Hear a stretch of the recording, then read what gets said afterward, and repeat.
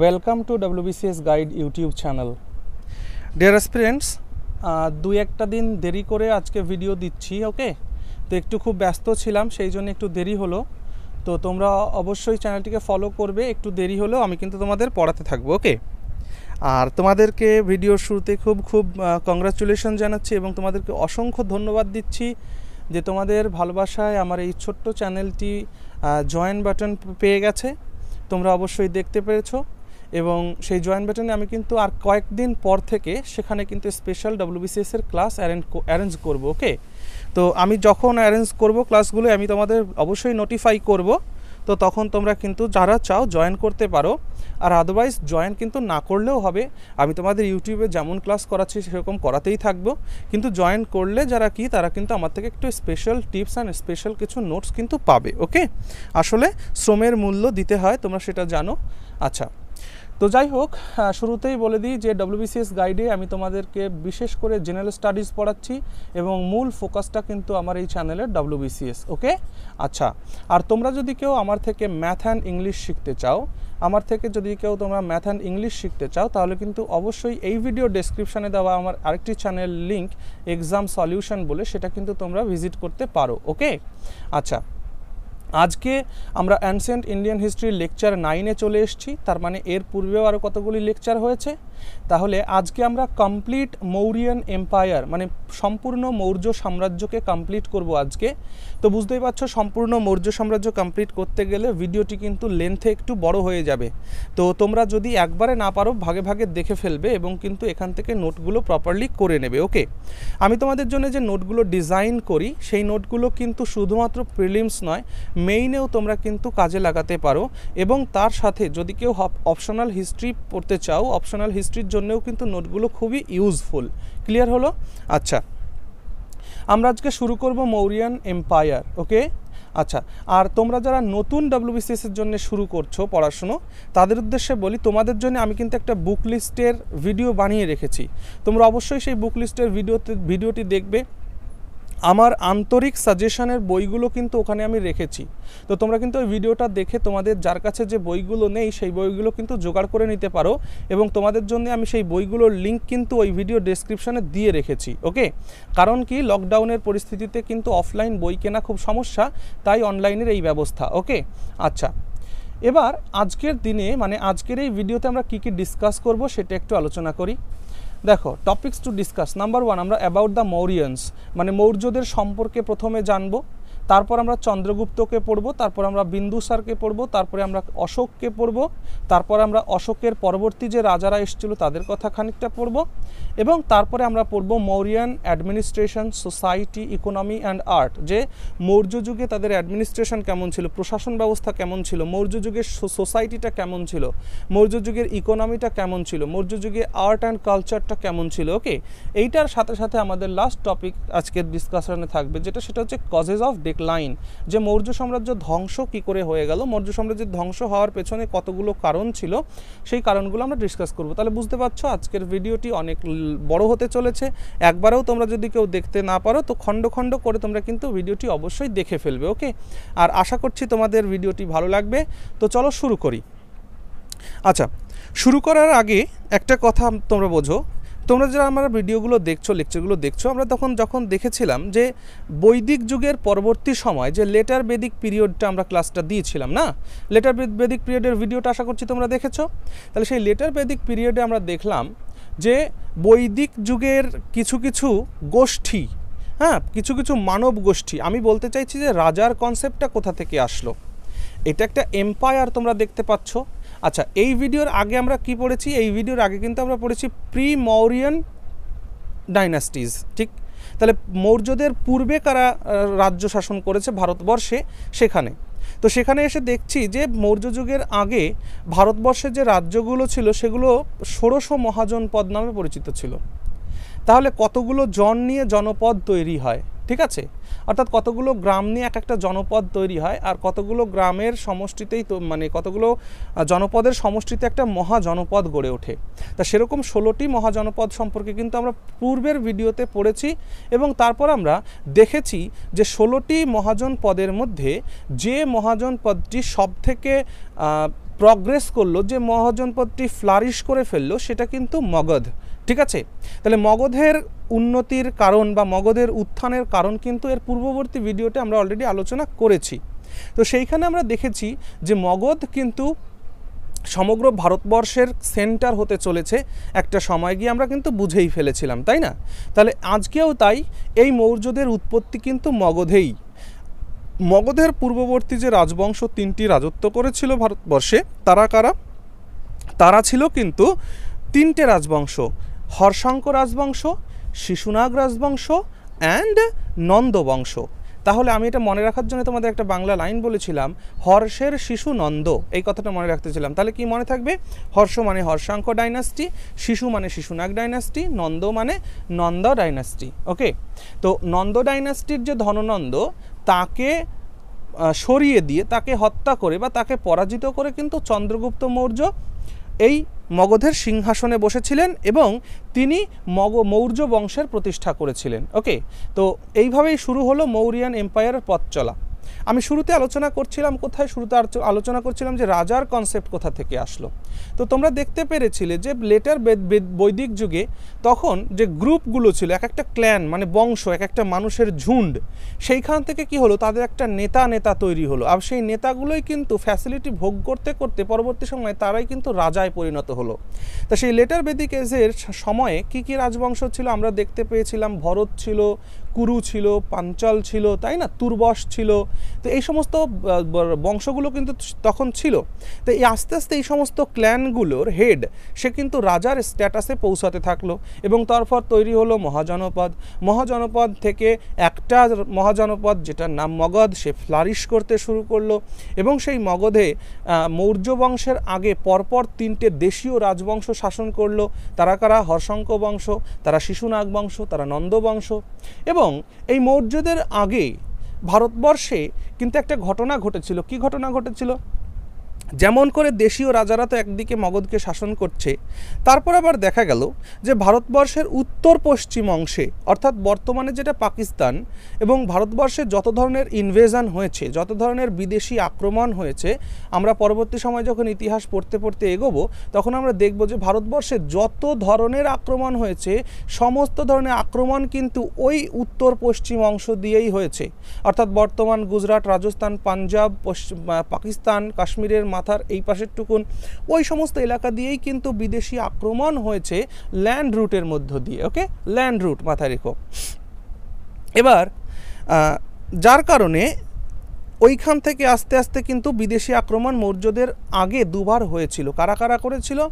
একবার প্রথমত করেছিল ইরানরা হ্যাঁ? ইরান করেছিল। ইরানদের প্রাচীন নাম ছিল পারস্য। পারস্য থেকে অ্যাটাক এসছিল।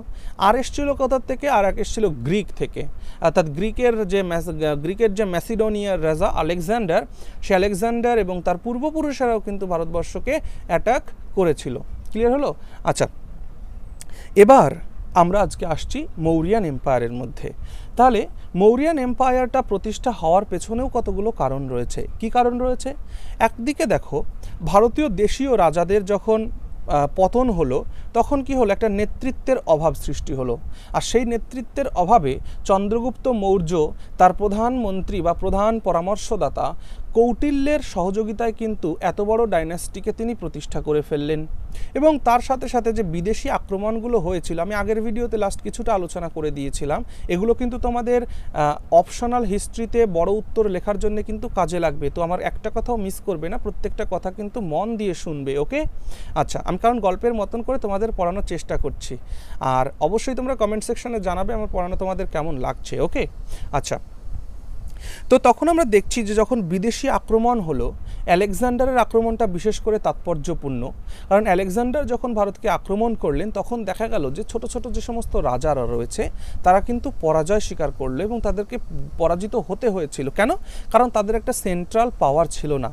তাই এমন মুহূর্তে মৌর্য সাম্রাজ্য প্রতিষ্ঠা হয়েছে যেখানে ছোট ছোট রাজ্যগুলির রাজারা কিন্তু চাইছিল যে আমাদের একটা সেন্ট্রাল পাওয়ার থাকা দরকার। তো এই জন্য চন্দ্রগুপ্ত মৌর্যকে কিন্তু সুবিধা হয়েছে তার এই এত বড় ডাইনাস্টিকে প্রতিষ্ঠা করার জন্য ওকে তো যাই হোক, আমরা পূর্ব আলোচনা কমপ্লিট করলাম। এবার আমরা ঢুকছি আমাদের আজকের লেকচারের মধ্যে দ্য মৌরিয়ান এম্পায়ার মনে রাখবে, চন্দ্রগুপ্ত মৌর্য কোনো কোনো ঐতিহাসিক বলে থাকেন যে তিনি তিনশো ওয়ান বিসিতে সিংহাসন আরোহণ করেছিলেন। আবার কোনো কোনো ঐতিহাসিক বলে থাকেন, তিনি তিনশো বাইশ বিসিতে সিংহাসন আরোহণ করেছিলেন। আচ্ছা বিসি শব্দের অর্থ হচ্ছে বিফোর ক্রাইস্ট। মনে রাখবে? ক্রাইস্ট মানে জিজাস ক্রাইস্ট, যীশুখ্রিস্ট। তাহলে বিসি মানে বিফোর ক্রাইস্ট মানে খ্রিস্টের আগের ঘটনাকে আমরা বিসি দিয়ে ডোনেট করি। আর এডি দ্বারা এডি দ্বারা আমরা ডোনেট করি হচ্ছে, মনে রাখবে অন্য অন্য এ, এন এন, ও অন্য দামিনী। অন্ন দামিনী আচ্ছা অন্ন দামিনী মানে হচ্ছে এডি। অন্ন দামিনীটা কি? অন্ন দামিনীটা হচ্ছে একটা খুশির পরব। খুশির পরব কি? যখন এটা বলা হয় জিজাস ক্রাইস্টের জন্মের পর দেখা গিয়েছিল যে জেরুজালেমের ওই এলাকাতে একটা খুশির বাতাবরণ সৃষ্টি হয়েছিল। আর সেই খুশির বাতাবরণকে সেলিব্রেট করার জন্যে ওরা যে অনুষ্ঠানটা পালন করেছিল, সেই অনুষ্ঠানটার নাম হচ্ছে অন্নদামিনী। এই জন্যে যীশুখ্রিস্টের আগের সময়কালকে বিসি অর্থাৎ বিফোর ক্রাইস্ট বা খ্রিস্ট পূর্বাব্দ বলা হয় এবং যীশুখ্রিস্টের জন্মের পরে বলা হয় এডি বা অন্নদামিনী বা খ্রিস্টাব্দ। বোঝা গেল? আচ্ছা। এবার চলো আমরা শুরু করি আমাদের আজকের লেকচারটা, ওকে? তাহলে, একটা জিনিস দেখো, মৌরিয়ান এম্পায়ার কতদিন লাস্টিং করেছিল? মৌরিয়ান এম্পায়ার কিন্তু প্রায় প্রায় তিনশো একুশ থেকে একশো পঁচাশি। আমরা যদি সকলের কথা মেনে নিই, তাহলে এইটা স্টার্টিং ডেট হবে তিনশো একুশ বিসি এটা লাস্ট ডেট হবে একশো পঁচাশি বিসি তো এই দীর্ঘ সময় ধরে কিন্তু মগধের সিংহাসন রাজত্ব কিন্তু রাজারা করেছে ওকে এর মধ্যে তোমরা দেখতে পাচ্ছ যে তিনজন মগধ, মৌর্য বংশের তিনজন রাজার নাম এখানে উল্লেখযোগ্য হয়ে রয়েছে। সেটা হচ্ছে চন্দ্রগুপ্ত মৌর্য, যিনি প্রতিষ্ঠাতা, এবং তারপর চন্দ্রগুপ্তের পুত্র বিন্দুসার, এবং বিন্দুসারের পুত্র অশোকের ইতিহাস কিন্তু আমরা এই পর্যন্ত জানতে পাই এবং অশোকের পরবর্তী সময় তার পুত্র কুনাল কিন্তু রাজত্ব কিন্তু করেছিল এবং অশোকের পরে কিন্তু মগধ মগ- মৌর্য সাম্রাজ্যটা কিন্তু দুটো ভাগে ভাগ হয়ে যায়, ওকে? তো এই সমস্ত ডিটেলস বিষয় নিয়ে আমরা ধীরে ধীরে আলোচনা করব আজকের এই ভিডিওতে। তো ভিডিওটি লেন্দি হবে, আমি আবারও বলছি, তোমরা ধীরে ধীরে একবারের প্রচেষ্টাতে না দেখতে পারলেও ধীরে ধীরে লিখে নেবে, ওকে? আর নোটপত্রগুলো কিন্তু করতে থাকবে। ক্লিয়ার হলো? ভেরি গুড চলো তো ফার্স্ট পয়েন্ট আমাদের যেটা ছিল সেটা হচ্ছে যে অ্যাবাউট দ্য মৌরিয়ান্স। আমরা মৌরিয়ান্সদের সম্পর্কে জানি কোথা থেকে বা মৌর্যদের সম্পর্কে আমরা জানব কোথা থেকে বা আমরা জেনেছি কোথা থেকে। আমি যদি হিস্ট্রি অফ মৌরিয়ান্স বলি মানে মৌর্যদের ইতিহাস যদি আমি বলি, মৌর্যদের ইতিহাস জানার জন্য আমাদের দুটো উপায় রয়েছে। কি উপায় রয়েছে? আমাদের একটা রয়েছে লিটারারি সোর্সেস আর একটা রয়েছে আর্কিওলজিক্যাল সোর্সেস তাহলে লিটারারি সোর্সেস মানে কি? বিভিন্ন সাহিত্য গ্রন্থ, যেমন বৌদ্ধ গ্রন্থ, জৈন গ্রন্থ, তারপর বেদ রয়েছে আমাদের, পুরাণ রয়েছে, এই সমস্ত লিটারারি গ্রন্থ থেকে আমরা কিন্তু বা বিভিন্ন ঐতিহাসিকের লেখা, বিভিন্ন দূত যারা বিদেশ থেকে এসেছিল যেমন মেগাস্তেনিস থেকে আমরা মৌর্য সাম্রাজ্যের অনেক কিছু জানতে পাই, তো তিনি একজন গ্রিক অ্যাম্বাসেডার ছিলেন, তাই না? আচ্ছা এবার আসো আর কোথা থেকে জানতে পাই? আর্কিওলজিক্যাল রিসোর্স থেকে। আর্কিওলজিক্যাল রিসোর্স মানে কি? যেমন অশোকের শিলালিপি শিলালিপি রয়েছে, জুনাগড়ের রুদ্রদামনের শিলালিপি রয়েছে, ঠিক না? তো এই সমস্ত জিনিস, তারপরে মাটি খনন করে কোথাও কোথাও রাজপ্রাসাদ পাওয়া গেছে, কোথাও কোথাও তাদের ব্যবহার করা সিল পাওয়া গেছে, কোথাও কোথাও ব্যবহার করা তাদের কয়েন পাওয়া গেছে। তো এই যে আর্কিওলজিক্যাল রিসোর্সেস ঠিক আছে? মানে প্রত্নতাত্ত্বিক একটা সোর্স আর একটা হচ্ছে সাহিত্যের সোর্স ওকে এই দিক থেকে আমরা জানতে পাই। এখানে দুটো পয়েন্ট লেখা রয়েছে। দেখো, আমি তোমাদের আবার বলছি, এই লেকচারগুলোকে এমনভাবে ডিজাইন করা হয়েছে যে তোমরা যদি কেউ অপশনাল হিস্ট্রি রাখো, তাদের কথা মাথায় রেখেই কিন্তু লেকচারগুলোকে রাখা হয়েছে। তাহলে এখানের প্রথম পয়েন্ট কিন্তু আমি এখানে লিখে রেখেছি, তুমি দেখতে পারো। After the invasion of Alexander north west of India became rulerless তাহলে এটা আমি আলোচনা করলাম। আলেকজান্ডারের ভারত আক্রমণ পরে কিন্তু ভারতবর্ষের যে নর্থ ওয়েস্ট এলাকাটা, অর্থাৎ বর্তমান পাকিস্তানের যে এলাকাটা, ওই এলাকাটা কিন্তু রুলারলেস হয়ে পড়েছিল মানে শাসকহীন হয়ে পড়েছিল। And this situation help the Mauryas to conquer the whole India এবং এই সিচুয়েশনই কিন্তু মৌর্যদের সাহায্য করেছিল সম্পূর্ণ ভারতকে জয় করার। আমরা ওকে নেক্সট পয়েন্ট কি লিখে রেখেছি? Mauryan empire marks a new epoch in the history of India ঠিক আছে? তাহলে মৌর্য সাম্রাজ্যটা কিন্তু ভারতবর্ষের ইতিহাসে একটা নতুন যুগের সূচনা করে। It was a period when politics arts trade and commerce elevated India to a glorious height এবং এই মৌর্যদের সময়ই কিন্তু ভারতবর্ষ রাজনীতি, ব্যবসা বাণিজ্য, শিল্পকলা সমস্ত দিক থেকে কিন্তু ভারতবর্ষ মানে উন্নতির চূড়ান্ত শিখরে পৌঁছে যায়। ওকে মৌর্যদের সময় থেকে। মাথায় রেখো। আর তারপর পরিপূর্ণ প্রাপ্তি কোথায় ঘটে প্রাচীন ভারতের ইতিহাসের? প্রাচীন ভারতের পরিপূর্ণ প্রাপ্তি কিন্তু ঘটে গুপ্ত যুগে গিয়ে মাথায় রেখো। বুঝতে পারছ? তার মানে মৌর্য হচ্ছে এরা ভারতবর্ষের মানে বিশিষ্ট প্রাপ্তিতে ভূমিকা গ্রহণ করেছিল, এরা সূচনা করে দিয়েছিল। এবং গুপ্ত যুগে গিয়ে আমরা কিন্তু দেখব যে সেই পরিপূর্ণতা পেয়েছে, ওকে? আচ্ছা নেক্সট নেক্সট স্লাইড দেখি একটা এবার আমরা আলোচনা করব লিটারারি সোর্সেস নিয়ে। অর্থাৎ মৌর্যদের সম্পর্কে জানার যে লিটারারি সোর্সেস রয়েছে, তার মধ্যে প্রধান কিন্তু অর্থশাস্ত্র। তার মধ্যে প্রধান কি? অর্থশাস্ত্র ওকে অর্থশাস্ত্রটা মানে কিন্তু ইকোনমিক্স নয়, মাথায় রেখো। অর্থশাস্ত্র ইকোনমিক্স নয়, অর্থশাস্ত্রের মধ্যে স্টেট পলিসি গুলোই কিন্তু বর্ণনা করা রয়েছে। Its state policy and administration মানে একটা রাষ্ট্রকে বা একটা রাজ্যকে কীভাবে চালানো উচিত বা কীভাবে চালানো যায়, সেই সমস্ত নীতিবাক্য সমূহর মানে মিলনই কিন্তু আমরা অর্থশাস্ত্রের মধ্যে দেখতে পাই। তাহলে অর্থশাস্ত্রের রচয়িতাকে প্রথমত অর্থশাস্ত্র রচনা করেছিলেন চাণক্য কৌটিল্য। তাহলে চাণক্য কৌটিল্যের যে অরিজিনাল নেম কি ছিল? চাণক্য কৌটিল্যের অরিজিনাল নেম ছিল কিন্তু বিষ্ণুগুপ্ত। ঠিক আছে? তাহলে চাণক্যর অরিজিনাল নাম কি ছিল? চাণক্যর অরিজিনাল নাম ছিল Vishnugupta. And he was the prime minister of Chandragupta Maurya. এবং তিনি ছিলেন চন্দ্রগুপ্ত মৌর্যের মানে প্রাইম মিনিস্টার ক্লিয়ার হলো? আচ্ছা next this book is based on treatise on state craft and public administration তাহলে যে কথাটা আমি বললাম, সেটাই বলা হচ্ছে যে এই বইটি যে স্টেট ক্রাফ্ট মানে একটা রাজ্য কী করে চালাতে হয়, একটা দেশ কীভাবে চালাতে হয় সেই বিষয় অ্যান্ড পাবলিক অ্যাডমিনিস্ট্রেশন নিয়েই এই বইটার base It deals with the kingship, government, state, laws, war and peace, diplomacy and the system of revenue.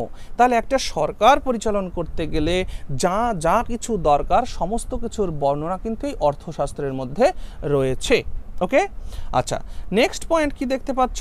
It gives a clear and methodological analysis of political and economical conditions of the Mauryan period এবং আমরা এই অর্থ, অর্থশাস্ত্র থেকে কিন্তু মৌর্য যে period ছিল, মৌর্য সময়কাল ছিল, সেই মৌর্যদের সময়কালে ভারতবর্ষের ইকোনমিক্যাল কন্ডিশন কেমন ছিল পলিটিক্যাল কন্ডিশন কেমন ছিল, এইটার একটা অ্যানালিসিস কিন্তু আমরা এই অর্থশাস্ত্র থেকে পাই। এবার এখান থেকে ডব্লিউবিসিএস থেকে তোমাদের যে প্রশ্নগুলো করা হবে মেইন লেভেলে সেগুলো কিন্তু মাথায় রেখো। প্রত্যেকটা পয়েন্ট ইম্পর্ট্যান্ট মাথায় রেখো। এই স্লাইডে তোমরা যে কটা পয়েন্ট দেখবে, প্রত্যেকটা পয়েন্ট ইম্পর্ট্যান্ট সুন্দর করে নিজেরা নোট লেখো ওকে আর যারা মেম্বারশিপ গ্রহণ করবে, তাদের কিন্তু এই নোটগুলো আমি পিডিএফ অ্যাভেলেবেল করে দেবো ওকে আচ্ছা দেখো, অর্থশাস্ত্র হ্যাজ ফিফটিন অধিকরণস। অর্থশাস্ত্রের মধ্যে পনেরোটা অধিকরণস ছিল। পনেরোটা অধিকরণস মানে পনেরোটা বইয়ের সমন্বয় হচ্ছে অর্থশাস্ত্র। এর মধ্যে একশো আশিখানা চ্যাপ্টার ছিল। পনেরোটা বই একশো আশিখানা চ্যাপ্টার প্রকরণস তাহলে একশো আশি প্রকরণস মানে chapter and six thousand verses in all এবং অর্থশাস্ত্রে সব মিলিয়ে ছয় হাজার ভার্স রয়েছে ছ হাজার শ্লোক বা সন লাইন রয়েছে। ক্লিয়ার হলো? এখান থেকে কিন্তু ডাব্লিউবিসিএস এর মেইনে কিন্তু কোয়েশ্চেন জিজ্ঞেসই করতে পারে যে অর্থশাস্ত্রে টোটাল ভার্সের সংখ্যা কত? অর্থশাস্ত্রে মোট ভার্সের সংখ্যা কত? ছয় হাজার। ওকে ক্লিয়ার হলো? তাহলে অর্থশাস্ত্র থেকে আমরা কি কি পেলাম? মৌর্য যুগের পলিটিক্যাল অ্যান্ড ইকোনমিক্যাল কন্ডিশন পেলাম, তাদের স্টেট ক্রাফটশিপ কেমন ছিল সেগুলো সম্পর্কে জানতে পেলাম ওকে আচ্ছা। বুদ্ধিস্ট লিটারেচার এবার দেখো, আমরা যখন কথা বলছি বুদ্ধিস্ট লিটারেচারের কথা মানে বৌদ্ধ সাহিত্যের কথা যখন আমরা বলছি, তো বৌদ্ধ সাহিত্যে কিন্তু এই মৌর্যদেরকে বলা হয়েছে যে চন্দ্রগুপ্ত মৌর্য, ঠিক আছে? এ, এদের যে পূর্বপুরুষ বা এদের যে বংশধর, তারা কিন্তু সাক্য ট্রাইবে বিলং করত। সাক্য ট্রাইব কোন ট্রাইব যেখান থেকে গৌতম বুদ্ধের জন্ম হয়েছিল, একটা ক্ষত্রিয় ট্রাইব কিন্তু এটা হ্যাঁ? সাক্য ট্রাইব থেকে কিন্তু এদের অরিজিন, এটা বলতো বুদ্ধিস্ট বুদ্ধিস্ট লিটারেচার এটা বলা হয়েছে যে মৌর্যরা ছিল যে গৌতম বুদ্ধের যে বংশ সাক্ষ্য ডাইনেস্টি সেই সাক্ষ্য ডাইনেস্টি কিন্তু মৌর্যদের ডাইনেস্টি এবং এই সাক্ষ্যরা মেনলি যে কাজ করতো সেটা হচ্ছে তারা মৌর লালন পালন করতো, ময়ূর মানে পিকক্স তাহলে পিকক্সের লালন পালন তারা করতো, যেটাকে বলা হতো মৌরিয়া বা মর এমও ইউ আর মর এইটাও কিন্তু বলা হতো মৌর বা মৌরিয়া। অর্থাৎ মৌরের লালন পালন করত বলেই কিন্তু তাদের বলা হচ্ছে মৌরিয়া। আবার কোনো কোনো ঐতিহাসিক বলে থাকেন যে চন্দ্রগুপ্তের মায়ের নাম ছিল মুরা। চন্দ্রগুপ্তের মায়ের নাম ছিল মুরা। আর মুরার সন্তান চন্দ্রগুপ্ত হওয়ার জন্য তার টাইটেল হয়েছে চন্দ্রগুপ্ত মৌরিয়া বা মোরা। ওকে তো বিভিন্ন ধরনের ঐতিহাসিক আলোচনা আছে তবু জেনে রাখো, চন্দ্রগুপ্তের মায়ের নাম আমরা যদি জানতে চাই, জানতে পারি যে চন্দ্রগুপ্তের মায়ের নাম ছিল মুরা, আর সেই মুরার সন্তান চন্দ্রগুপ্ত বলে তার নাম হয়েছিল চন্দ্রগুপ্ত মৌরিয়া। আবার বৌদ্ধ সাহিত্যে আমরা জানতে পারছি যে তারা শাক্য ট্রাইব শাক্য বংশের লোক ছিল। শাক্য বংশ থেকেই কিন্তু গৌতম বুদ্ধ জন্মগ্রহণ করেছিল, মাথায় রাখতে হবে। আচ্ছা জাতক গ্রন্থ থেকে আমরা যেটা জানতে পাই, জাতক গ্রন্থটা কি? দেখো, জাতক গ্রন্থ এখান থেকে প্রশ্ন করবে, ব্র্যাকেটের মধ্যে লেখা রয়েছে দুই নম্বর পয়েন্ট আমি আবার বলছি, একটা পয়েন্টও কিন্তু মিস করা যায় না। প্রত্যেকটা পয়েন্ট খুব খুব ইম্পর্ট্যান্ট দেখো, জাতক গ্রন্থ। জাতক গ্রন্থটা অ্যাকচুয়ালি কিসের গ্রন্থ? এ পার্ট অফ ক্ষুদ্র নিকয়। আচ্ছা দেখো, যেখানে ডি ডি লেখা থাকবে মনে করো যে ডাবল যে লেটার ডিডি বা টিটি এখানে যেটা থাকবে, ঠিক আছে? এগুলো মনে রাখবে প্রথমটার সঙ্গে র ফালা যোগ করার জন্য। অর্থাৎ সেই সময়ের ভাষায় এই ডিডি মানে দয়, র ফালা। এই টিটি এই টিটি মানে মানে এই টিটি মানে হচ্ছে তয়, র ফালা। ওকে তাহলে তোমরা এখানে এটাকে বলতে পারো ক্ষুদ্র নিকয় বা ক্ষুদ্র নিকয় ওকে? অফ সূত্রপিটক। সূত্রপিটককে সূত্রপিটকও বলতে পারো। বুঝতে পারছ? মানে টিটিকে ডয় রফালা বলবে ডিডিকে ডয় রফালা বলবে, এমনটাই। কারণ কোনো জায়গায় কোনো ধরনের উচ্চারণ থাকে, সেটা সেই জন্য বলে দিলাম, ওকে? আচ্ছা তাহলে জাতকটা কি ছিল? এ পার্ট অফ ক্ষুদ্র নিকয় ক্ষুদ্র নিকয়ের একটা পার্ট ছিল। আর ক্ষুদ্র নিকয়টা কিসের? ক্ষুদ্র নিকয়টা হচ্ছে সূত্রপিটকের একটা ভাগ। সূত্রপিটকের। সুত্তপিটক কি, কোথা থেকে আসলো? ত্রিপিটক থেকে এসছে। বৌদ্ধ ধর্মের ধর্মগ্রন্থ যে ত্রিপিটক, সেই ত্রিপিটকের ত্রিপিটক মানে কি? তিনটে পিটক। কী কি? সূত্রপিটক, অভিধর্ম পিটক, আরেকটা কি? সূত্রপিটক বিনয় পিটক সূত্রপিটক অভিধর্ম পিটক ঠিক না? এই তিনটি। এই তিনটি পিটকের, এটা হলো সূত্রপিটকের ক্ষুদ্র নিকয়ের একটা পার্ট হচ্ছে জাতক গ্রন্থ। আর এই জাতক গ্রন্থে মনে রাখবে বুদ্ধের প্রিভিয়াস বার্থ সম্পর্কে কিন্তু জানা যায়, খুব ইম্পর্ট্যান্ট তাহলে বুদ্ধের প্রিভিয়াস বার্থ সম্পর্কে আমরা কোথা থেকে জানতে পাই? জাতক গ্রন্থ থেকে জানতে পাই ওকে আচ্ছা তাহলে জাতক গ্রন্থ provides the general picture of socio economic conditions of Mauryan period তাহলে এই জাতক গ্রন্থ থেকেও কিন্তু আমরা কি পাই? যে সেই মৌর্য যুগে সোসিও ইকোনমিক কন্ডিশনটা কেমন ছিল সেটা জানতে পাই।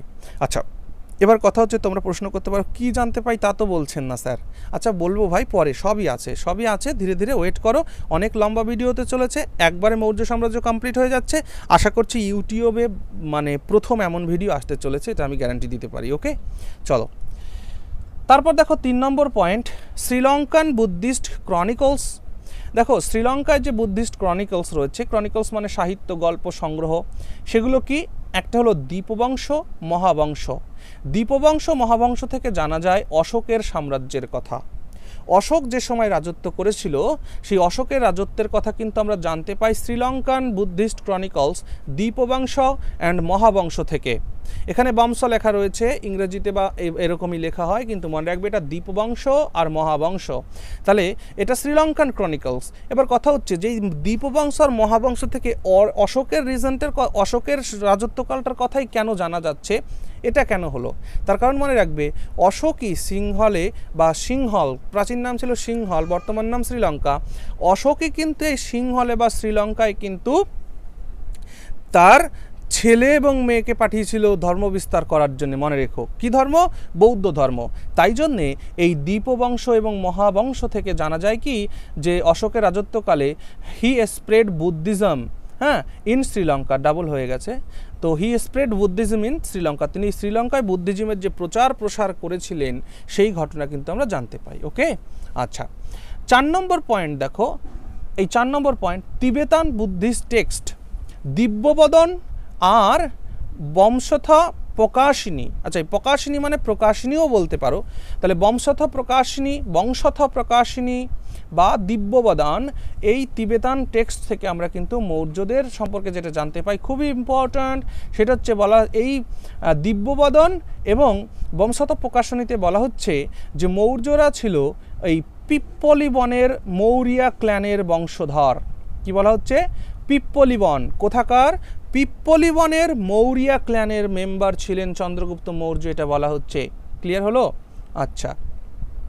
এবার যদি আসি জয়েন্ট লিটারেচারের ক্ষেত্রে, তো জয়েন্ট লিটারের ক্ষেত্রে আমরা যেটা দেখব সেটা হচ্ছে যেমন, দেখো স্থবিরাবলী চরিত বা পরিশিষ্ট পার্বণ। পরিশিষ্ট পার্বণেরই কিন্তু আরেক নাম স্থবিরাবলী। এবার তোমাদের দেখো বিশেষ যদি চায় কিছু কঠিন প্রশ্ন করতে, কি কঠিন প্রশ্ন করতে পারে ভালো করে মাথায় রাখো। তোমরা জানো যে, তোমরা জানো যে পরিশিষ্ট পার্বণ, তোমরা জানো যে পরিশিষ্ট পার্বণ রচনা করেছেন হেমচন্দ্র। ঠিক? তাহলে পরিশিষ্ট পার্বণ হেমচন্দ্র রচনা করেছে, তোমরা এটা জানো। কিন্তু এক্সামিনার যদি কঠিন প্রশ্ন করতে চায়, তাহলে এই পরিশিষ্ট পার্বণকে তারা ইউজ না করে তারা কিন্তু এটা ইউজ করতে পারে যে স্থবিরাবলী চরিত কে রচনা করেছেন। তাহলে স্থবিরাবলী চরিত যা জিনিস, পরিশিষ্ট পার্বণী সেই জিনিস। তাহলে এই স্থবরী চরিত কিন্তু কে রচনা করলেন? হেমচন্দ্র রচনা করলেন। বোঝা গেল? তো প্রত্যেকটা পয়েন্ট ইম্পর্ট্যান্ট এবং এইখানেও এই পরিশিষ্ট পার্বণেও কিন্তু বলা হচ্ছে যে Chandragupta was the member of Maurya clan who trained peacocks হ্যাঁ এখানেও জৈন জৈন লিটারেচার থেকে অর্থাৎ জৈনদের সাহিত্য থেকেও কিন্তু আমরা জানতে পারছি যে চন্দ্রগুপ্ত ছিল মৌর্য বংশের রাজা সরি মৌর্য বংশের সন্তান এবং যাদের মূল কাজ ছিল মৌরের ট্রেনিং করা বা মৌরকে লালন পালন করা ওকে আচ্ছা। এবার আমরা দেখি গ্রিক টেক্সট ইন্ডিকা আমাদের যেহেতু ভারতবর্ষে গ্রিকদের একটা ইনভেশন হয়েছিল আলেকজান্ডার দ্বারা, তাহলে গ্রিকদের সময় যে যে, গ্রিকদের যে টেক্সট সেটা হচ্ছে সব থেকে ভালো টেক্সট কিন্তু আমরা যেটা পাই সেটা কিন্তু ইন্ডিকা পাই। কিন্তু আমরা ধীরে ধীরে দেখব যে গ্রিকের মধ্যে আরও কতজন ঐতিহাসিক ছিল, তারা কারা, কি, তারা কি করেছে, তাদের কি অবদান। মনে রাখবে, এই ইন্ডিকা গ্রন্থ ইন্ডিকা গ্রন্থ কিন্তু রচনা করেছিলেন কে? ইন্ডিকা গ্রন্থ রচনা করেছিলেন কিন্তু মেগাস্থেনিস। তাহলে Indica was written by Greek ambassador Megasthenes. তাহলে এই যখন যখন চন্দ্রগুপ্ত মৌর্য ভারতবর্ষের মগধে সিংহাসনে বসেছেন, তখন এই গ্রিকে রাজত্ব করছেন কে? গ্রিকে রাজত্ব করছেন কিন্তু সেলিউকাস নিকেটার তাহলে সেলুকাস নিকেটার যখন গ্রিকে রাজত্ব করছেন, সেই সেলুকাস নিকেটার চন্দ্রগুপ্তের রাজসভায় একজন দূতকে পাঠিয়েছিলেন, সেই দূতের নাম কিন্তু মেগাস্থেনিস। ঠিক আছে? সেলুকাস নিকেটারের সঙ্গে মেগাস চন্দ্রগুপ্ত মৌর্যের কী সম্পর্ক আমরা একটু পরে দেখব। সেলুকাস নিকেটার হচ্ছে চন্দ্রগুপ্তের সম্পর্কে শ্বশুর হন, শ্বশুর। কি ব্যাপার বৃত্তান্ত? পরে আমরা দেখব, ওকে? আচ্ছা চন্দ্রগুপ্ত মৌর্যের সময় গিয়ে দেখছি, তবুও মনে রাখো যে চন্দ্রগুপ্ত মৌর্যের রাজসভায় সেলুকাস নিকেটার গ্রিক থেকে একজন দূত পাঠিয়েছিলেন যার নাম মেগাস্থেনিস। আর সেই মেগাস্থেনিস রচনা করেছিলেন চন্দ্রগুপ্তের রাজসভাকে কেন্দ্র করে মগধান এম্পায়ারকে বা মৌর্য এম্পায়ারকে বর্ণনা করে তিনি একটা গ্রন্থ লিখেছিলেন যে গ্রন্থের নাম হলো ইন্ডিকা। ওকে? এবার সবথেকে বড় ব্যাপারটা হচ্ছে যে ইন্ডিকার যে অরিজিনাল টেক্সট, সেই অরিজিনাল কপিটা কিন্তু হারিয়ে গেছে। অর্থাৎ ইন্ডিকা গ্রন্থের অরিজিনাল কপিটা হারিয়ে গেছে, সামান্য কয়েকটা পাতা অ্যাভেলেবল আছে। Okay? And it has survived only as quotations এবং এই ইন্ডিকা গ্রন্থের কোটেশানগুলোই কিন্তু আমরা জানতে পাই। আর এই ইন্ডিকা গ্রন্থের কোটেশানগুলো যারা তৎকালীন সময় গ্রিকের যে ক্লাসিক্যাল রাইটার্সরা ছিল, সেই গ্রিকের ক্লাসিক্যাল রাইটার্সরা এই ইন্ডিকা গ্রন্থের কোটেশনগুলো তারা কিন্তু তাদের রচনার মধ্যে লিখেছেন এবং তাদের রচনা থেকে আমরা ভারতবর্ষের সম্পর্কে, তৎকালীন ভারতবর্ষ সম্পর্কে জানতে পাই। তাহলে সেই সমস্ত গ্রিক রাইটারদের মধ্যে কে কে বিখ্যাত ছিল? যেমন স্ট্র্যাবো তারপরে ডিওডারাস, এরিয়ান, প্লুটার্ক, এরা বিখ্যাত ছিল, ঠিক আছে? And Roman Latin writers such as Pliny ঠিক আছে? Pliny and Justin. তাহলে রোমান রাইটার প্লিনি এবং জাস্টিনের থেকেও আমরা ইন্ডিকার থেকে কোনো কোটেশনস পাই মানে তৎকালীন ভারত সম্পর্কে জানতে পাই। আবার Greek writers Strabo Diodorus, Arrian Plutarch এদের লেখা থেকেও কিন্তু আমরা সেই সময় মেগাস্তেনিসের কোটেশনগুলো পাই। আর যে কোটেশনটা আমাদের ভারতবর্ষের তৎকালীন মৌর্য সাম্রাজ্যকে বর্ণনা করে। ওকে? এখান থেকে একটা প্রশ্ন আসে যে প্লিনির রচিত গ্রন্থের নাম কি? প্লিনি ল্যাটিন ভাষায় একটা বই লিখেছিলেন, যে বইটার নাম হচ্ছে ন্যাচুরালিস হিস্টোরিয়া। ন্যাচুরালিস হিস্টোরিয়া, যাকে ইংরেজিতে ট্রান্সলেট করে হয়ে যায় ন্যাচুরাল হিস্ট্রি। তাহলে প্লিনির লিখিত বইয়ের নাম Naturalis Historia or natural history. Clear হলো? নেক্সট। দেখো, Indica says that there were seven caste system in the society Indica থেকে আমরা জানতে পাই যে তৎকালীন ভারতবর্ষে বা মৌর্য সাম্রাজ্যের মৌর্য পিরিয়ডের সময় ভারতবর্ষে সাতটি কাস্ট ছিল। কি কি কাস্ট ছিল সেগুলো আমরা ধীরে ধীরে পড়ব, সমস্যা নেই। No trace no trace of slavery তাহলে ইন্ডিকা গ্রন্থ থেকে আমরা কি কি মূল জানতে পাই সেটা কিন্তু তিন নম্বর পয়েন্টে বর্ণনা করে রয়েছে, পড়ে নাও আমার কথা শুনতে শুনতে। নো ট্রেস অফ স্লেভারি এখানে কিন্তু ভারতবর্ষে তৎকালীন সময়ে দাস দাস প্রথা বলে কিন্তু কিছু ছিল না। অ্যাকচুয়ালি আমরা ভারতবর্ষে যারা বাস করি, আমরা যারা ভারতীয়, আমাদের কিন্তু এটা গর্বের ব্যাপার যে আমাদের ভারতবর্ষে সমস্ত পৃথিবীর যে কুরীতিনীতি ছিল, সেগুলো কিন্তু আমাদের ভারতবর্ষে ছিল না বললেই চলে। যেমন দাস প্রথা একটা মানব সভ্যতার একটা সব থেকে বাজে একটা প্রথা দাস প্রথা সেই দাস প্রথা কিন্তু ভারতবর্ষে ছিল না। King was the hard working person. Megasthenes বর্ণনা করেছেন যে সেই সময় মৌর্য যুগে একজন রাজাকে হতে হতো হার্ড ওয়ার্কম্যান মানে হার্ড ওয়ার্কিং পারসন হতে হতো মানে তাকে কঠিন পরিশ্রম করতে হতো। ক্রিমিনাল লজ ওয়ার সিভিয়ার এবং সেই সময় যে ক্রিমিনালদের জন্য যে আইন কানুনগুলো ছিল সেগুলো খুব সিভিয়ার ছিল মানে খুব কঠিন ছিল, কঠিন আইন। আর সেই কঠিন আইনের জন্যেই কিন্তু দেখা যেত সেই সময়ের যুগে বেশি চুরি টুরি এই সমস্ত কিছু হতো মানে ক্রিমিনাল অ্যাক্টিভিটিগুলো খুব কম হতো। কেন? আইনটা ছিল খুবই কড়া। তো এই ইন্ডিকা থেকে জানা যায় যে সেই সময় যে ক্রিমিনালদের শাস্তি, সেই ক্রিমিনালদের শাস্তি কিন্তু ছিল মিউটিলেশন মনে রাখবে? মিউটিলেশন শাস্তি হিসাবে দেওয়া হতো ডেথ দেওয়া হতো হ্যাঁ পানিশমেন্ট হিসাবে। মিউটিলেশন মানে কি? অঙ্গছেদন মানে অঙ্গ কেটে দেওয়া মানে হাত কেটে দেওয়া, পা কেটে দেওয়া, এরকম কেটে দেওয়া হতো এবং তার সাথে সাথে মৃত্যুদণ্ডও দেওয়া হতো কিন্তু সেই সময় ওকে মেগাস্তেনিস described Indian people as honest and of good characters. Megasthenes ভারতবর্ষের লোকেদের কিন্তু সৎ এবং সৎ চরিত্রের মানুষ বলে কিন্তু বর্ণনা করেছেন। There was a rare occurrence of theft কারণ সেই সময় চুরি হতো না বললেই চলে। ঠিক আছে? He also said that famine never occurred in India তিনিও বলেন যে ভারতবর্ষে কোনো দিন ফেমাইন হয়নি। ফেমাইন মানে কি? ফেমাইন মানে হলো দুর্ভিক্ষ, অনাহার। মানে যখন প্রচণ্ড পরিমাণে খরা হয়, যখন খরা হয়, খরা হলে ফসল ফলে না। এখন যেমন ইরিগেশন ব্যবস্থাটা খুবই উন্নত হয়েছে ইরিগেশন মানে কি? সেচ সেচ খাল। চাষ করতে গেলে সেচে লাগবে, সেচ করতে হবে, জল লাগবে। তাহলে এখন স্যালো মেশিন রয়েছে, বিভিন্ন ইলেকট্রিক মোটর রয়েছে যেখান দিয়ে ডিপ টিউবওয়েল রয়েছে, যেখান দিয়ে প্রত্যেক মাঠে মাঠে জল সাপ্লাই করা হচ্ছে চাষের কাজে। কিন্তু সেই সময়ে যে ব্যবস্থা ছিল সেটা কিন্তু বর্ষার উপরে মানে বৃষ্টির ওপরে ডিপেন্ড করে থাকতে হতো যে চাষাবাদ কখন হবে কি না হবে। বৃষ্টিটাই ছিল সেই সময়ের যুগে চাষাবাদের মানে ইরিগেশনের মূল লক্ষ্য এবং তার সাথে সাথে কিন্তু নদী বা খাল খননও কিন্তু তখন চলেছে চাষের জন্য। খালের থেকে জল নিয়ে চাষের কাজে ব্যবহার করা হতো। আর সেই জন্যে চন মেগাস্তিনিস বলছেন যে, ভারতবর্ষে নাকি ফেমাইন খুব কম হতো। কেন হতো? কারণ আমরা কিন্তু যখন নন্দযুগটা পড়েছিলাম, নন্দযুগে আমরা দেখেছিলাম যে মগধ কিন্তু সেই সময় একটা ফুড সারপ্লাস স্টেটে পরিণত হয়েছিল ফুড সারপ্লাস স্টেট কেন? কারণ মগধের যে পজিশন সেই মগধের পজিশনটা কোথায়? মগধের পজিশনটা হচ্ছে গাঙ্গেয় উপত্যকায়। আর গাঙ্গেয় উপত্যকা মানে কি? গাঙ্গেয় উপত্যকা মানে হচ্ছে উর্বর জমি। উর্বর জমি মানে প্রচুর ফসল প্রচুর ফসল মানে প্রচুর খাদ্য প্রচুর খাদ্য মানে যতটা খাচ্ছে তার থেকে বেশি খাদ্য তারা সঞ্চয় করছে। তাই এই মৌর্য যুগেও কিন্তু সেই ফুড সারপ্লাস স্টেট কিন্তু বলা যেতে পারে মৌরিয়ান পিরিয়ডকে। কেন? কারণ মৌরিয়ান পিরিয়ডে প্রচুর পরিমাণে কিন্তু খাবার সংগ্রহ করে রাখা হয়েছে, হতো। হুম? কারণ এই অনাবৃষ্টি খরাকে প্রোটেকশন দেওয়ার জন্যে। দেখো বর্তমানে কি চলছে? বর্তমানে চলছে লকডাউন তাহলে বর্তমানে লকডাউনের সময় কি হচ্ছে? গরিব মানুষ যারা আছে আমাদের সমাজে, তারা কিন্তু কেউ কাজকর্ম করতে পারছে না। তারা তারা কাজ যখন করতে পারছে না, তাদের জন্য সরকার কি ব্যবস্থা করেছে? তাদের জন্য সরকার কিন্তু রিলিফের ব্যবস্থা করেছে। রেশনের মাধ্যমে তাদেরকে চাল, গম, আটা, ফাটা যা যা দেওয়া হয় আর কি, সেগুলো দেওয়া হচ্ছে। বুঝতে পারছ? তার মানে এই যে যে রিলিফের সিস্টেম এগুলো কিন্তু জানতে পাই আমরা। এবার এখান থেকে একটা প্রশ্ন কিন্তু জিজ্ঞেস করে যে মৌর্য যুগে যে অনা এই ফেমাইনের জন্য যে ত্রাণ বিতরণ করা হয়েছিল। ভালো করে শোনো কি বলতে চাইছি। মৌর্য যুগে মৌর্য যুগে যে ত্রাণ বিতরণ করা হয়েছিল ফেমাইনের জন্যে, তার ঘটনা আমরা কোথা থেকে জানতে পাই? তার ঘটনা কিন্তু আমরা দুটো জায়গা থেকে জানতে পাই। কোথা থেকে জানতে পাই?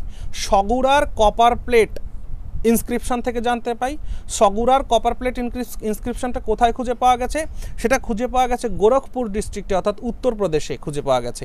আর একটা কোথায় পাওয়া গেছে? দেখো, একটা পাওয়া গেল উত্তরপ্রদেশে আর একটা পাওয়া গেছে সুদূর বাংলাদেশ, বর্তমান বাংলাদেশের বগুড়া জেলা। সুদূর বাংলাদেশের বর্তমানে বগুড়া জেলার মহাস্থান নামক একটি জায়গা রয়েছে। সেই মহাস্থানে কিন্তু একটা ইনস্ক্রিপশন পাওয়া গেছে।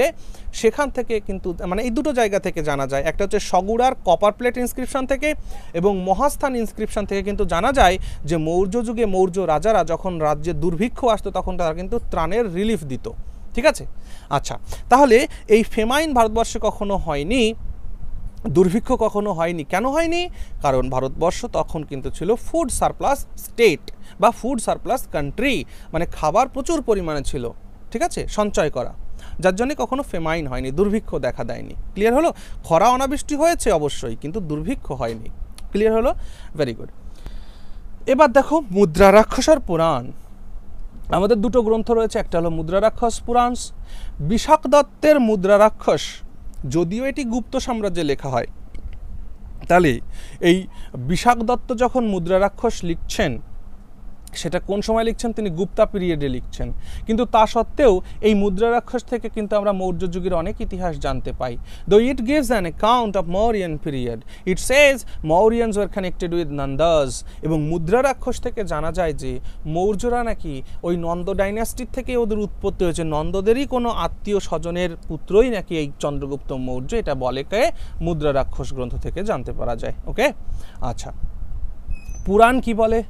Purana give the chronology of lists of Mauryan kings আমরা পুরাণ থেকে, আমাদের আঠেরোটি পুরাণ আছে হিন্দু ধর্মে, আঠেরো পুরাণ, চার বেদ ওকে তাহলে এই আঠেরো পুরাণ থেকে কিন্তু আমরা জানতে পারি যে মৌর্যদের রাজার লিস্ট আমরা জানতে পারি। প্রথম কে রাজা ছিল, তারপর কে তারপর কে তারপর কে। অর্থাৎ মৌর্য যুগে যে রাজার লিস্ট সেটা আমরা কোথা থেকে জানতে পারি? পুরাণ থেকে জানতে পারি। আর পুরাণে বা হিন্দু ব্রাহ্মণিক্যাল টেক্সটে মৌর্যদের কিন্তু শূদ্র কাস্ট হিসাবে বর্ণনা করা হয়েছে, মাথায় রাখবে। তাহলে মৌর্যদের শূদ্র কাস্ট হিসাবে কোথায় বর্ণনা করা হয়েছে? ব্রাহ্মণিক্যাল টেক্সট অর্থাৎ পুরাণগুলোতে বর্ণনা করা হয়েছে ওকে?